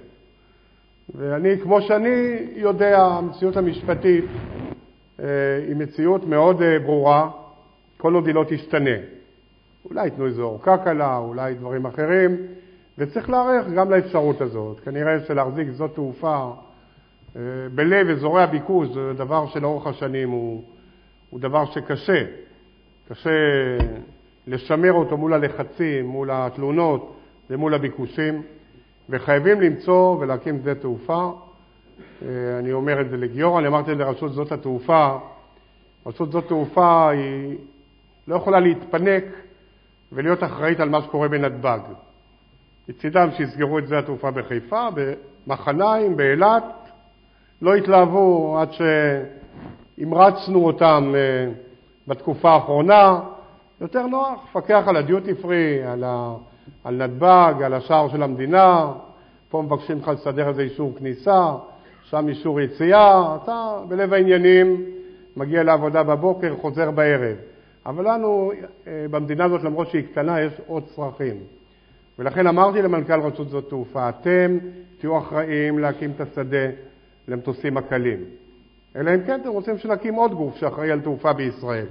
ככל שאני יודע, יש גוף אחד, והוא צריך להיות אחראי על ההקמה, תחת הכוונה מקצועית, כמובן, ועל ההפעלה של כל פעילות תעופה אזרחית שקובעים שהיא תחת אחריותו, ואת הכספים שיהיה מתוך מה שמפנים בשדה דב או בכל מקום אחר.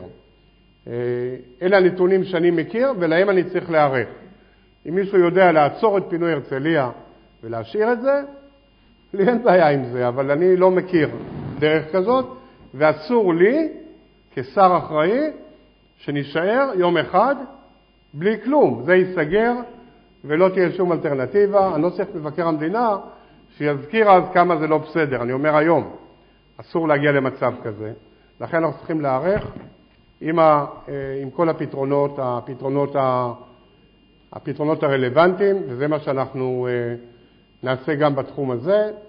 כמו שאני אומר, גם תשתיות התעופה, לדעתי, אה, בתקופה הזאת, ובאופן עובדתי, שדה התעופה האזרחי הראשון, מאז ימי המנדט לפחות, יהיה שדה התעופה רמון, שיוקם, בעצם לא הוקם שדה תעופה אזרחי אה, אחר במדינת ישראל.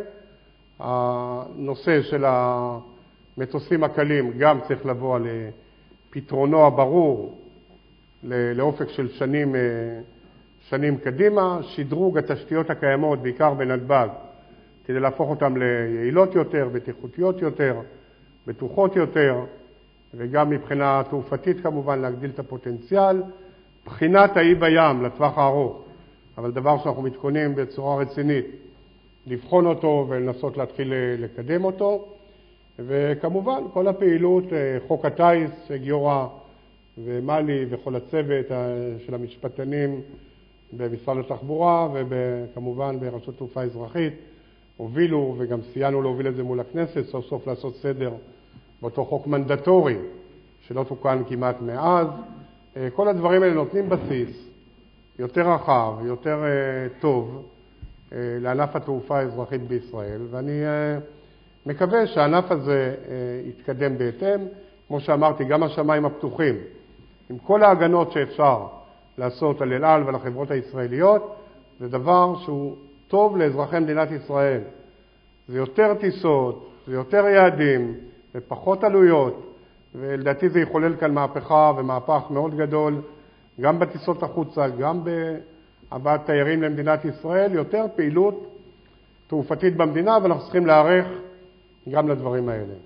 אני מודה לכם על ההזמנה, אני שמח שבתחילת הקדנציה הזאת יוצא לי להיות כאן איתכם בכנס, ואני מקווה שנעבוד ביחד בשנים הקרובות. תודה רבה לכם.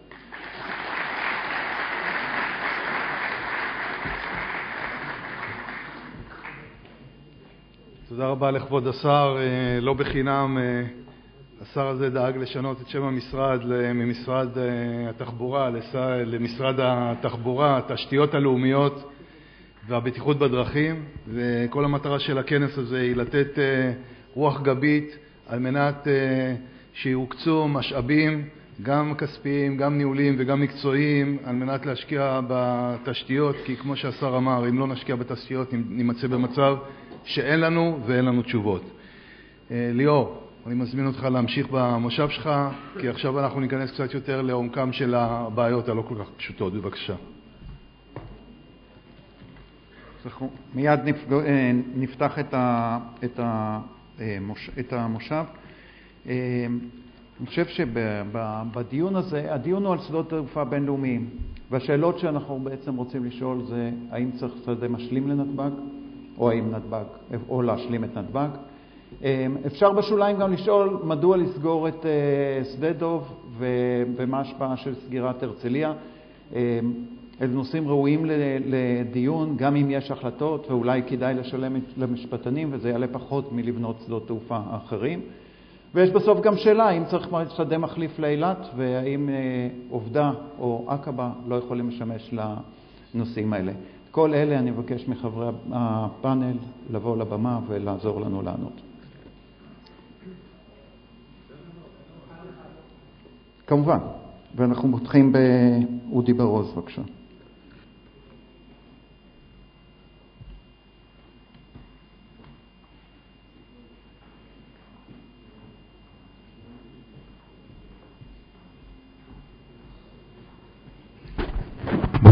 בוקר טוב לכולם. במקור יעקב גנות, מנכ"ל רשות התעופה, היה אמור לשאת דברים, אבל הוא לא יכל להישאר, אז אני מחליף אותו. ואני אנסה גם לענות על השאלות שלך, יעבור, וגם נושאים אחרים שקצת כבר עלו פה. דרך הסקירה של רשות שדות התעופה, בעיקר על השדות הבינלאומיים, אבל לא רק. קודם כל אני רוצה להזכיר, כי לא בטוח שכולם מכירים, רשות שדות התעופה זה גוף שהוקם בשנת 1977 מכוח של חוק שנקרא חוק רשות שדות התעופה. הרשות היא תאגיד המופקד על ניהול, פיתוח, הפעלה והחזקת שדות התעופה, מסופי הגבול הבינלאומיים ויחידות הבקרה האוויריות של ישראל. מקור כל ההכנסות של הרשות הוא מאגרות תעופתיות על פי תקנות האגרות וממסחר ופיתוח עסקי. הרשות היא לא גוף שנתמך על ידי תקציב המדינה בכלל, נהפוך הוא, הרשות משלמת דיבידנדים למדינת ישראל בהתאם להכנסות שלה, שלא נדבר על שהרשות משלמת לכל גופים אחרים של המדינה, כמו מנהל מקרקעי ישראל, רשות המיסים וכדומה, בהתאם לתקנות ולהכנסות. אלו מתקני רשות שדות התעופה בכל רחבי הארץ, שבעה שדות תעופה, מתוכם שניים הם בעצם שדות צבאיים, אבל הרשות נותנת שם שירותים לתעופה האזרחית, שזה שדה דוב ועובדה, וחמישה שדות תעופה אזרחיים לחלוטין, ראש פינה, חיפה, הרצליה, נתב"ג ואילת. חמישה מסופי גבול בינלאומיים מצפון לדרום, נהר הירדן, אלנבי, יצחק רבין, טאבה וניצנה, ושתי יחידות בקרה שנמצאות בתוך היחידות הצבאיות בהר מירון, בקרה צפון, ובמצפה רמון, בקרה דרום. זאת פריסת מתקני הרשות ברחבי הארץ.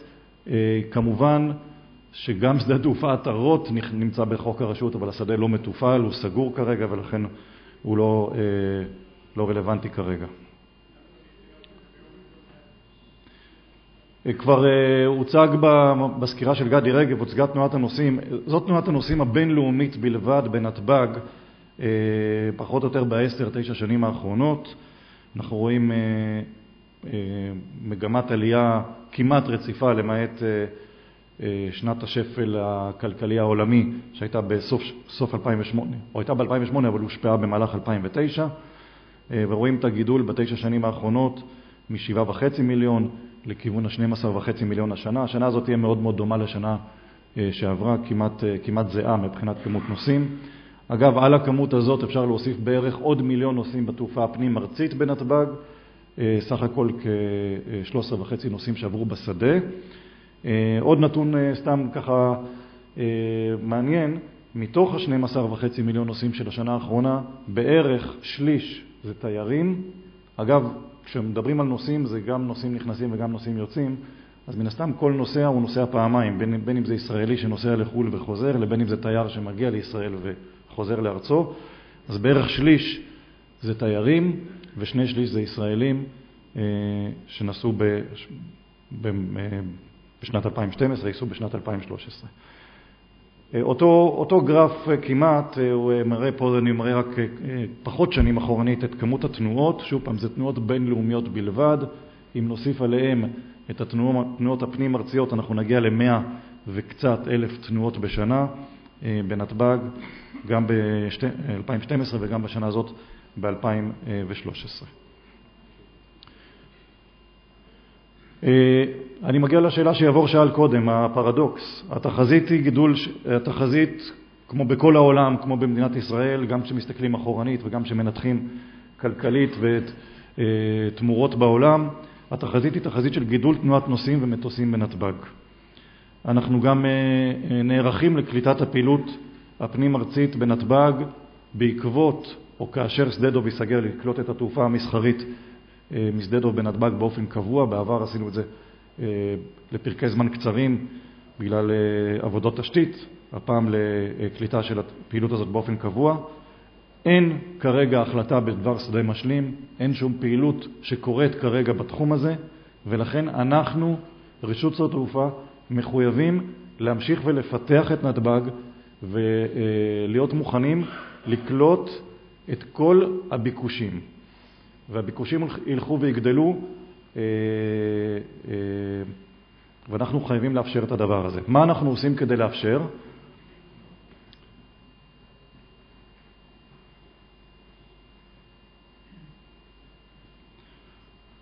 הפרויקט המרכזי שנמצא כבר ממש בשלבי, לא רוצה להגיד בשלבי סיום, אבל לקראת סיום, הוא יסתיים תוך פחות משנה, זה שינוי מערך המסלולים בנתב"ג.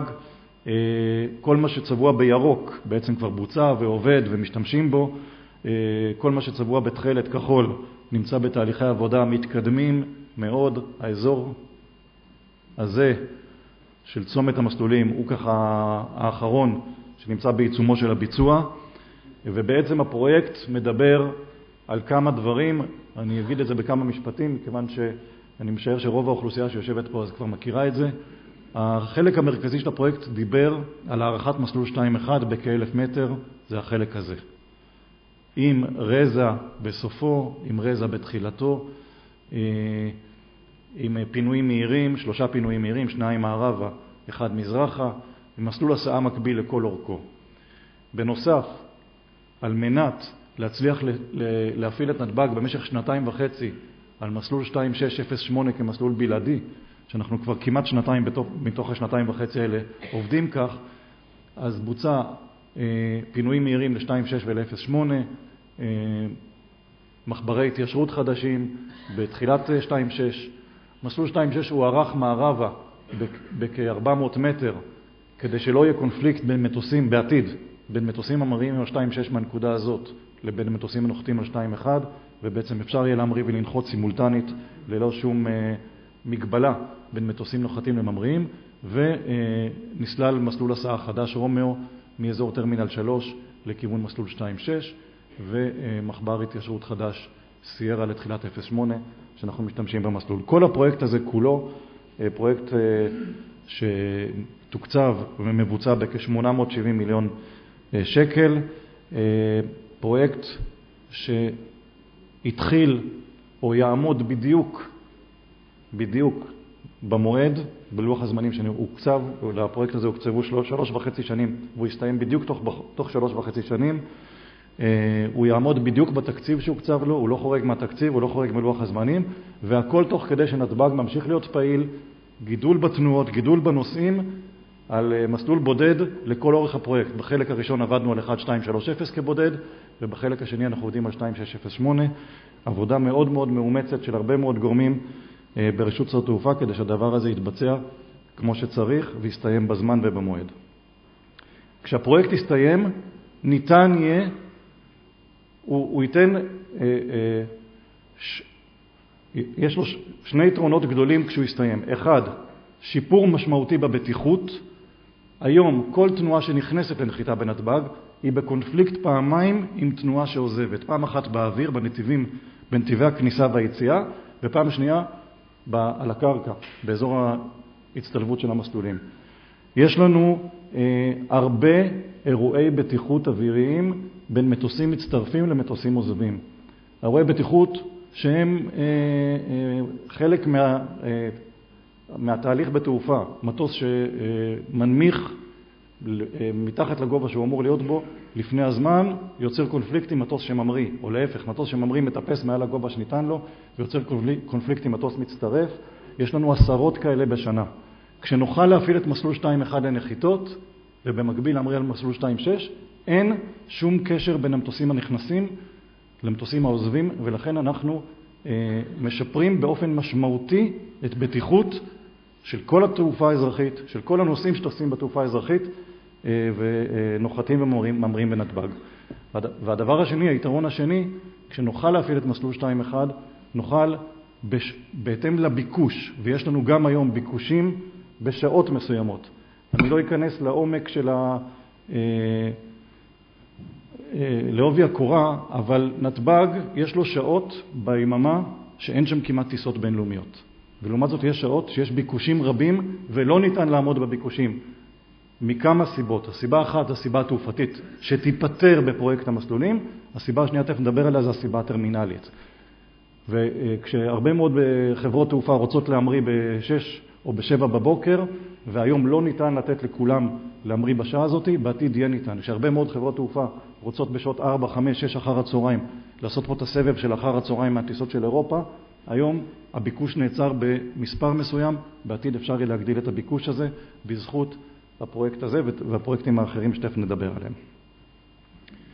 הפרויקט השני זה פרויקט ה-HBS, הוא פרויקט שקשור בכלל לתחום הביטחון, הכבודה של הנוסעים שטסים בנתב"ג. זה פרויקט חדשני, אין כמוהו בעולם עדיין. אה, נתב"ג הוא יהיה חלוץ בעולם של פרויקט מהסוג הזה, אה, ובעצם מה שהוא אומר, שהכבודה של כל הנוסעים שיטוסו מנתב"ג תיבדק באופן אוטומטי. לא, אה, הנוסע בכלל לא, רואה את הדבר, לא יראה את הדבר הזה, הוא ימסור את המזוודה והמזוודה תלך לתהליך לבד, עם כל מיני פטנטים וטכנולוגיות מאוד מאוד מתקדמות אה, שיודעות לבדוק כל מזוודה בצורה כזאת או בצורה אחרת, עם מערכת מיון מאוד מאוד משוכללת. אה, הדבר הזה ייתן גם שירות הרבה יותר טוב לנוסעים, גם בידוק שוויוני, שהיום אה, הבידוק הוא, לא, הוא, לא, הוא מתבצע בהתאם לפרופיל של הנוסע. בעתיד לא יצטרכו לאפיין את הפרופיל של הנוסע כי הבידוק יהיה בידוק שוויוני, והדבר הזה ייתן גם שירות יותר טוב, הרבה יותר מהיר בתהליך וגם יותר נכון. הפרויקט הזה אה, לקראת אה, סיום, ובעצם הוא יתחיל לעבוד כבר בקיץ הקרוב ויסתיים בסוף השנה הזאת. הפרויקט השלישי שאנחנו מקימים זה מגדל פיקוח חדש כדי לתת מענה למנח המסלולים החדש שהראיתי קודם. המגדל יהיה בגובה, במיקום ובפריסת העמדות שתאפשר שליטה מיטבית אה, על כל אה, שדה התעופה. הוא יצויד באמצעים טכנולוגיים מתקדמים שבעצם אותם כבר הכנסנו לפעולה. מקם קרקעי מתקדם שנותן אה, לפקחים במגדל הפיקוח יכולת כל הזמן לראות את כל המטוסים ואת כל כלי הרכב ואת כל מי שמסתובב באזור המסלולים וגם להתריע מפני קונפליקטים. מערכת לאיתור FOD אה, שהותקנה על מסלול 2608, מערכת מעולה של חברת Xsight שנותנת אה, התראות על כל אה, חפץ או בעל חי או משהו שנמצא על המסלול ויש לא מעט, חברים, אני לא יודע כמה שאתם יודעים, אבל מטוסים נופלים מהם חלקים, נופלים אליהם פאנלים, נופלים פינים, פגרים של חיות שנמצאים על המסלול. המערכת יודעת להתריע ואנחנו יודעים לשלוח את ה... מי שצריך בפרק זמן מאוד קצר, כי היא גם מציינת איפה זה וכולי, וזה משפר מאוד את הבטיחות וגם את הזמינות של המסלול. כי כבר כשצריך לסגור אותו, סוגרים אותו לפרק זמן הרבה יותר קצר. ומערכת נוספת שכבר עובדת, הותקנה, אנחנו קראנו לה מתמ"ם, אבל בגדול היא מדברת על מערכת אה, ממוכנת לניהול תוכניות הטיסה, מה שנקרא סטריפים אלקטרוניים, ולמידע המבצעי החיוני לפקח לניהול התעבורה האווירית.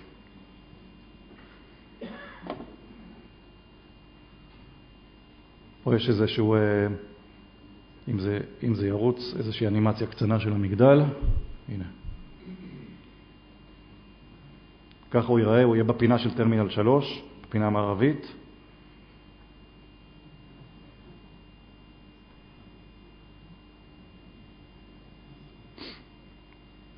ופחות או יותר זה שדה הראייה שיהיה מהמגדל ואנימציה של איך תיראה קומת הפיקוח.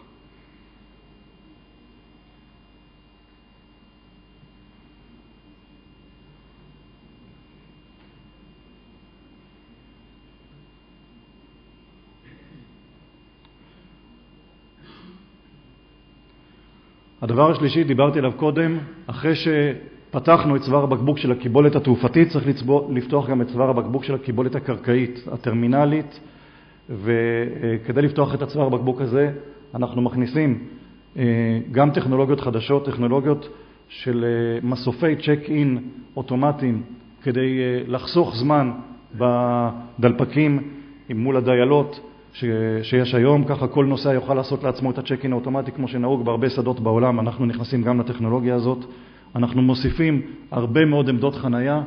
אנחנו מתכננים אה, בשנה, שנתיים הקרובות להתחיל לסלול את כל השטח הזה שהוא מערבית לטרמינל הקיים, לזרועות הקיימות, ולאפשר בו אה, הרבה מאוד רחבות חנייה חדשות, ואנחנו מתכננים בשנים הקרובות לבנות את הזרוע הרביעית פה, עם כל השטח הזה, ובכך אנחנו נגדיל את שערי היציאה, נגדיל את רחבות החנייה ונאפשר יותר טיסות בשעה נתונה. שדות תעופה בעולם, הבעיה שלהם זה הקיבולת בשעות השיא. והנתב"ג עד היום היה מוגבל לשעות השיא לקיבולת מסוימת. אחרי שנעשה את כל מה שהזכרתי קודם ומה שהזכרתי עכשיו, נוכל להגדיל את הקיבולת בשעות השיא, כי אין מה לעשות, אנחנו שדה שנמצא, אנחנו מדינה ושדה תעופה שנמצא בחלק המאוד מאוד מאוד מזרחי של אירופה, והביקושים אלינו הם בשעות מאוד מסוימות במהלך היממה, ולא לכל אורך היממה.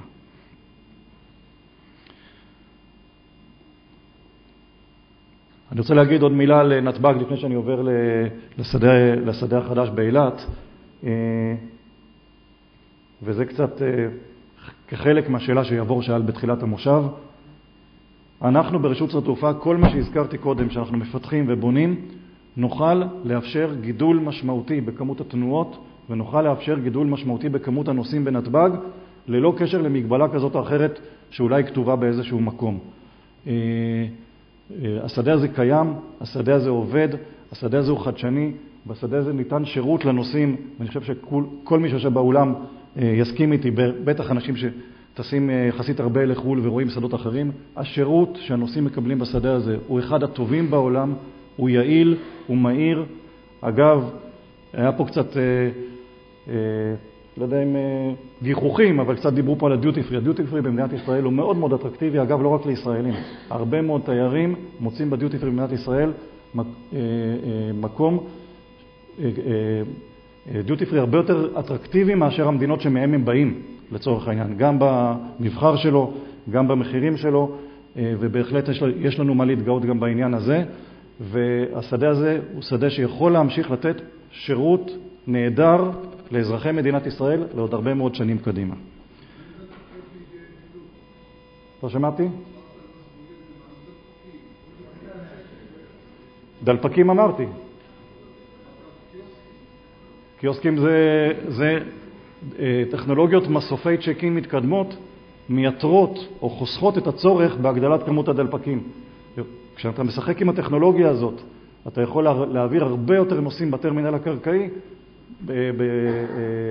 בשילוב של טכנולוגיה גם מאוישת וגם לא מאוישת. שדה התעופה החדש של אילת, מה שנקרא תמנע על שם אילן ואסף רמון, רגע, בסדר גמור,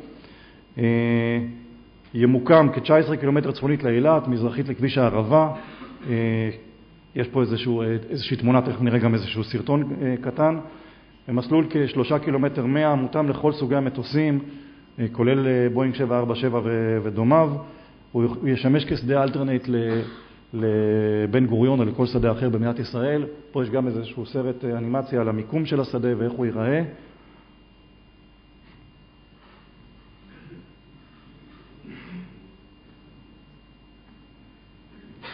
פה כביש הערבה, הטרמינל, רחבות החניה והמסלול, ומזרחית למסלול הגבול עם ירדן.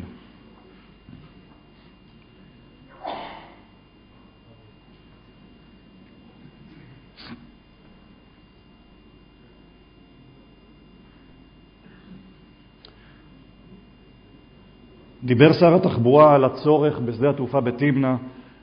אחד הדברים שאני כאיש תעופה או הסיבה המרכזית שאני כאיש תעופה חושב שצריך את השדה תעופה הזה, זה מסיבה בטיחותית תעופתית. שדה התעופה הקיים היום באילת הוא מאוד מוגבל, אנחנו מפעילים אותו בצורה שהיא תחת פטורים מיוחדים של רת"א לתפעל שדה תעופה באילת למטוסים שלא מתאימים לשדה תעופה הזה. הצ'רטרים בעובדה זה סוג של התפשרות, כי עובדה היא רחוקה מאילת, אנחנו גם שם מפעילים מטוסים אזרחיים בשדה צבאי שהתשתיות שלו לא מתאימות לתעופה אזרחית כמו שהיינו רוצים. שדה התעופה בתמנע יאפשר לתפעל תעופה אזרחית בשדה שהוא יהיה state of the art מבחינת הטכנולוגיה שלו, מבחינת התשתיות שלו, מותאם לכל סוגי המטוסים, ללא שום צורך בפטורים, הכל בדיוק לפי הגדרות ה-ICAO לתשתיות תעופתיות, ובזה זה קודם כל, כאילו לקחת את התעופה הקיימת ולהעביר אותה לשדה חדש. מעבר לזה, הוא כמובן יאפשר להרבה יותר מטוסים מסוגים שונים, מגדלים שונים, לנחות לכל אורך שעות היממה ולכל אורך השנה בשדה, בשדה תעופה מתאים, ויוכל גם לשמש כאלטרנט לתעופה האזרחית. אני רוצה בשני משפטים קריצה למושב הבא, מכיוון שבמושב הבא אנחנו, רשות שדות התעופה, לא נציג. לגבי תשתיות התעופה הכללית. אנחנו מתכננים להקים את שדה התעופה ברמון, בתמנע, ממקורות עצמיים של הרשות, בתקציב של כ-1.6, אפילו קצת יותר מ-1.6 מיליארד ש"ח. כל זה תוך שאנחנו ממשיכים, גם בשנים שחלפו וראיתם הרבה מאוד פעילויות וגם בשנים הבאות, לפתח גם את התשתיות בנתב"ג וגם את התשתיות בשדות התעופה הפנים-ארציים האחרים, ועל כל המשתמע מכך מבחינה תקציבית. המשמעות שאנחנו, רשות תעופה, נשמח, ויש לנו גם את היכולת ואת הניסיון וגם ידע רב גם בלתכנן וגם בלהקים ולבנות שדות תעופה, אבל כל הקמה של שדה כזה או אחר, בין אם זה יהיה בעין שמר או במקום אחר, יידרש לכך מקור תקציבי כדי להקים אותו ולהכין אותו ולהסדיר אותו לתעופה האזרחית. יעבור, אתה רוצה לענות על שאלות עכשיו או אחר כך?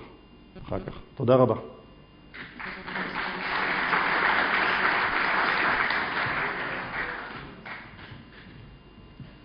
אנחנו נמשיך ישר מוטי שמואלי לתת, לדבר על המענה של התשתיות בצד הרתאי של העניין. מוטי, בבקשה.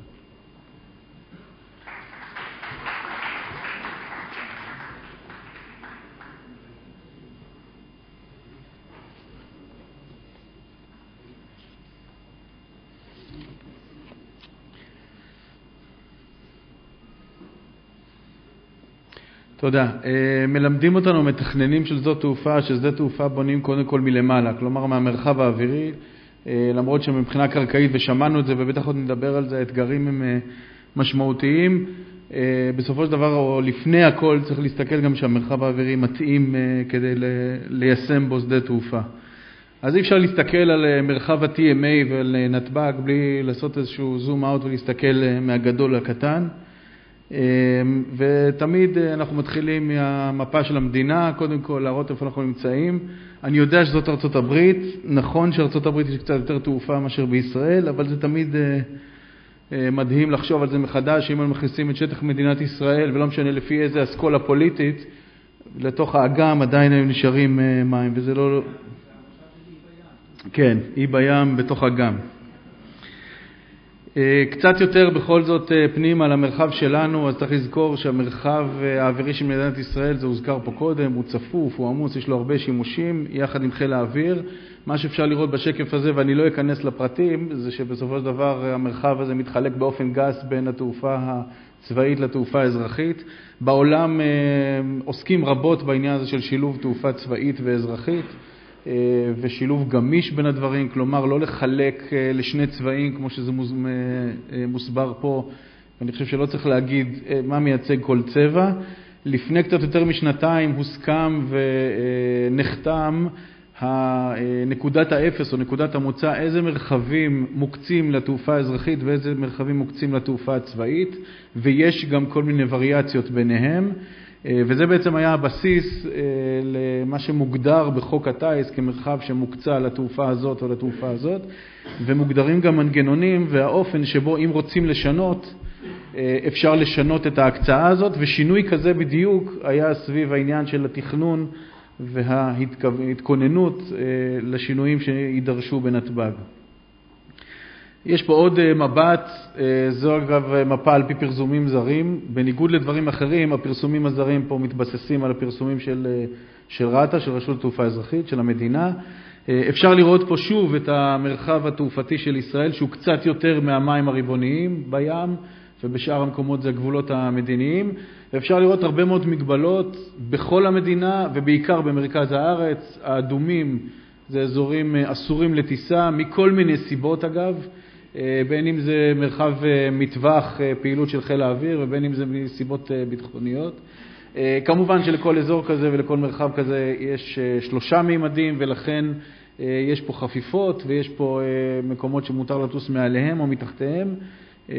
בקיצור, הרבה מאוד מגבלות שמשפיעות על מרכז הארץ ובכלל. ועל זה מלבישים את כל הנתיבים. אפשר לראות פה הרבה מאוד, רשת גדולה מאוד של נתיבים רובם או חלקם אה, המשמעותי לא בשימוש אה, באופן אה, תמידי, וכמו שאמרתי קודם, חלק מהנתיבים האלה מחייבים תיאום או שימוש גמיש במרחב אווירי, זה מה שאנחנו משקיעים בו הרבה מאוד ביחד עם חיל האוויר. רק ככה כדוגמה, אפשר לראות פה נתיבים שחוצים את המרחבים או את אזורי האימון של חיל האוויר. המרחבים האלה הם לא בשימוש 24 שעות, 7 ימים בשבוע, ואת העניין הזה מנצלים בתעופה האזרחית כדי לחסוך זמן ודלק ופליטות מזהמים, אה, תורה שלמה ויש אה, התקדמות ויש עוד הרבה לאן להתקדם. אנחנו אה, צוללים ומתקדמים קדימה למרחב הטרמינלי של נתב"ג.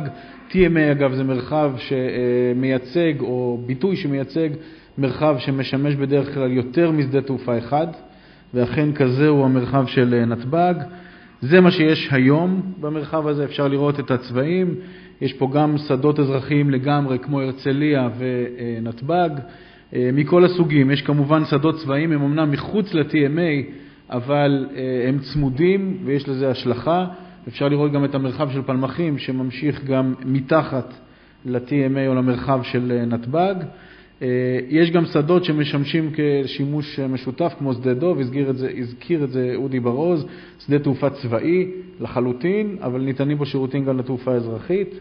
אה, ושוב אפשר לראות קצת ייצוג לאזורים המוגבלים או האסורים, אה, וכמו שאמרתי, זה מוסיף אתגר כשמתכננים את המרחב האווירי, כשיש מין קו כזה, שבו אי אפשר כמובן ליצור קיר באוויר, אבל מעליו אסור לטוס. אה, חשוב להסביר פה אה, או להבהיר איזושהי טעות נפוצה. מי שמפרסם ומגדיר את האזורים המוגבלים האסורים לתעופה אזרחית, יהיה תעופה אזרחית, זה מנהל רת"א, זאת הסמכות על פי חוק. כמובן שיש פה אינפוטים ביטחוניים וצבאיים והתייעצות עם הגורמים האלה, ובעיקר עם חיל האוויר, אבל בסופו של דבר ההחלטה האחריות והפרסום הוא של רשות התעופה האזרחית. גם בעניין הזה, כדי לנסות להגדיל קצת את המשאבים ואת הנפח, אה, נעשתה עבודה בשנים האחרונות. בעצם לא נשארה פה אף אבן אה, לא הפוכה, וכל הדברים האלה נבחנו מחדש, והיו גם עדכונים וצמצומים אה, כדי לאפשר יותר פעילות תעופתית אזרחית. אה, זה בעצם, זה הוזכר פה כבר קודם, זה מה שקורה היום. היום כל התעופה, או 99% מהתעופה אה, שנכנסת לנמל התעופה בן גוריון מגיעה ממערב. אם נוריד את האחוז הקטן שמגיע מירדן או מדרום דרך אה, צפון ים המלח, אם זה מאילת ואם זה מאפריקה, שזה באמת אחוזים קטנים בתנועות, אז רוב התעופה נכנסת ממערב. כמובן שזה ציור סכמטי, זה גם לא ממש משנה איזה מסלול אה, נמצא בשימוש. היום יש רק אחד, אבל גם לפני הפרויקט, זה לא ממש משנה איזה מסלול נמצא בשימוש, כל התעופה מגיעה ממערב, או רובה מכריע. אה, כנ"ל המטוסים שממריאים ויוצאים, ושוב, זה לא ממש משנה על איזה מסלול אה, ממריאים, גם אם ממריאים על מסלול הפוך לכיוון מזרח, בסופו של דבר כיוון היציאה הוא כזה. אה, ואפשר לראות פה את ההצטלבות, וזה לא משנה אם ההצטלבות היא כאן או כאן, אודי הזכיר את זה. יש הרבה מאוד אירועים שאגב, אה, מבחינת השכיחות של האירוע התעופתי, אין פה שכיחות גבוהה או חריגה. העניין הוא שכל פעם כשמטוס בקונפיגורציה הזאת, כל פעם כשמטוס מטפס מהר מדי, או מטוס אחר מנמיך מהר מדי, התשתית הזאת היא לא סלחנית. ומיד נוצר פה, אה, נוצרת קרבה שעלולה להיות מסוכנת. אה, או ליצור אה, תקרית. כמובן שסטטיסטית, רוב הפעמים שבהם מטוס מנמיך כאן, הוא לא באמת פוגש מטוס שמטפס כאן, סטטיסטי זה באמת אה, נדיר, אבל יש כאן פוטנציאל והוא מאוד לא רצוי. והנה אנחנו הולכים לכיוון ההתפתחות. מה שנעשה בעצם לפני תחילת הפרויקט זאת הייתה התניה, בעצם לא הושקעו ולא אושרו התקציבים פרויקט שדרוג, השדרוג הקרקעי של התשתיות בנתב"ג, לפני שהובטח שמרחב ה-TMA יוכל, יוכל לגדול צפונה על חשבון אה, מרחב שהוקצה לשימוש צבאי, במנגנון שהזכרתי קודם, אה, ואכן ניתן נפח חדש שיאפשר בעצם את כל הדברים שאני אראה. אז זאת כבר תמונה שהוזכרה, ואני מזכיר שוב, השינוי המשמעותי במרחב האווירי נועד לאפשר את הנחיתה על המסלול הזה, שקודם אה, בעצם אפשר להגיד באופן גורף לא נחתו עליו, ולאפשר את ההמראה לכיוון מערב, תוך הפרדה לא רק על הקרקע, כמו שהראה קודם אודי ברוז, אלא גם אה, באוויר. התהליך מתואר פה, אני לא אפרט את הכל, אבל דיברתי קודם על זה ש-TMA, מרחב טרמינלי, מאחד בתוכו מספר שדות תעופה, ואכן בתוך ה-TMA נמצאים שניים, שלושה שדות תעופה, הם כוללים גם את הרצליה, אה, אזורי אימון צבאיים אזרחיים וגם אה, כל השדות שנושקים, אה, והראיתי קודם את שדות תעופה בעיקר מדרום, הצבאיים, תל נוף, חצור, פלמחים, עם סוגי כלי הטיס הייחודיים שלהם והאתגרים שהם מביאים. התהליך היה תהליך מקצועי מאוד ארוך עם עשרות שעות עבודה, החל בדרגים המקצועיים המשותפים של רשות שדות התעופה, וחיל האוויר ביחד עם רת"א, כדי שהתהליך לא יהיה אה, טורי כולו, אלא כשהדברים יובאו אה, לאישור של רשות התעופה האזרחית, אנחנו נהיה עמוק בתוך התהליך ונכיר את הדברים ונדע את התשובות לשאלות. וכדי שזה לא ייווצר משהו כזה, אז בסופו של דבר, וזה כמובן תיאור סכמטי, זה מה שנוצר. ושוב, אני מדגיש, מה שיתאפשר לעשות, וזה לא יהיה כל הזמן, אני אגיד את זה תכף שוב, הכניסה מצפון לנחיתה על מסלול 2-1 תתאפשר מהכיוון הזה בערך אה, דרומית לנתניה. בהנמכה רציפה, גם זה תחום שהולך ומתפתח, מטוסים שואפים להנמיך בהנמכה רציפה כבר מגובה השיוט, זה חוסך זמן, זה חוסך דלק, זה חוסך אה, פליטות מזהמים, ובמכפלות של אה, כמות התנועות שראינו פה זה הופך להיות משמעותי. אה, ההנמכה תהיה מעל, תכף אני אראה בדיוק מעל איזה יישובים, תהיה כאן שתי אופציות עיקריות, אה, ארוכה יותר וקצרה יותר. האחת תוך שימוש בתהליך נחיתה מסורתי עם מכשיר ה-ALS, והשנייה באמצעי מתקדם שאני תכף אתאר. בכל מקרה, תכנון שהוא בליבת התכנון החוקי, התקני, הבינלאומי. בלי פשרות, בלי פטנטים שהיו נהוגים במדינת ישראל, וכבר נאמר פה, הוזכר, הוזכרו ועדות ציבוריות וביקורות של גורמים תעופתיים. בקיצור, תכנון שהוא בליבת התכנון התעופתי הבינלאומי. ובאותו זמן אפשר יהיה לעשות עזיבות מכשירים, ושוב, זה לא משנה מאיזה מסלול, ואפשר לראות פה את ההפרדה, שוב, הבטיחותית, התקנית, בין הנכנסים ליוצאים.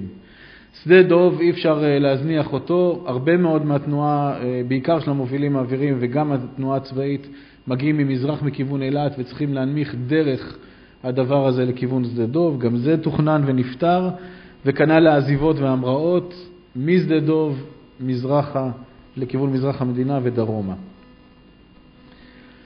וככה זה אמור להיראות. מטוסים שימריאו ויתאפסו מערבה, מטוסים שנכנסים, תכף תראו כשהם מנמיכים הם קטנים, כי זה מבט על.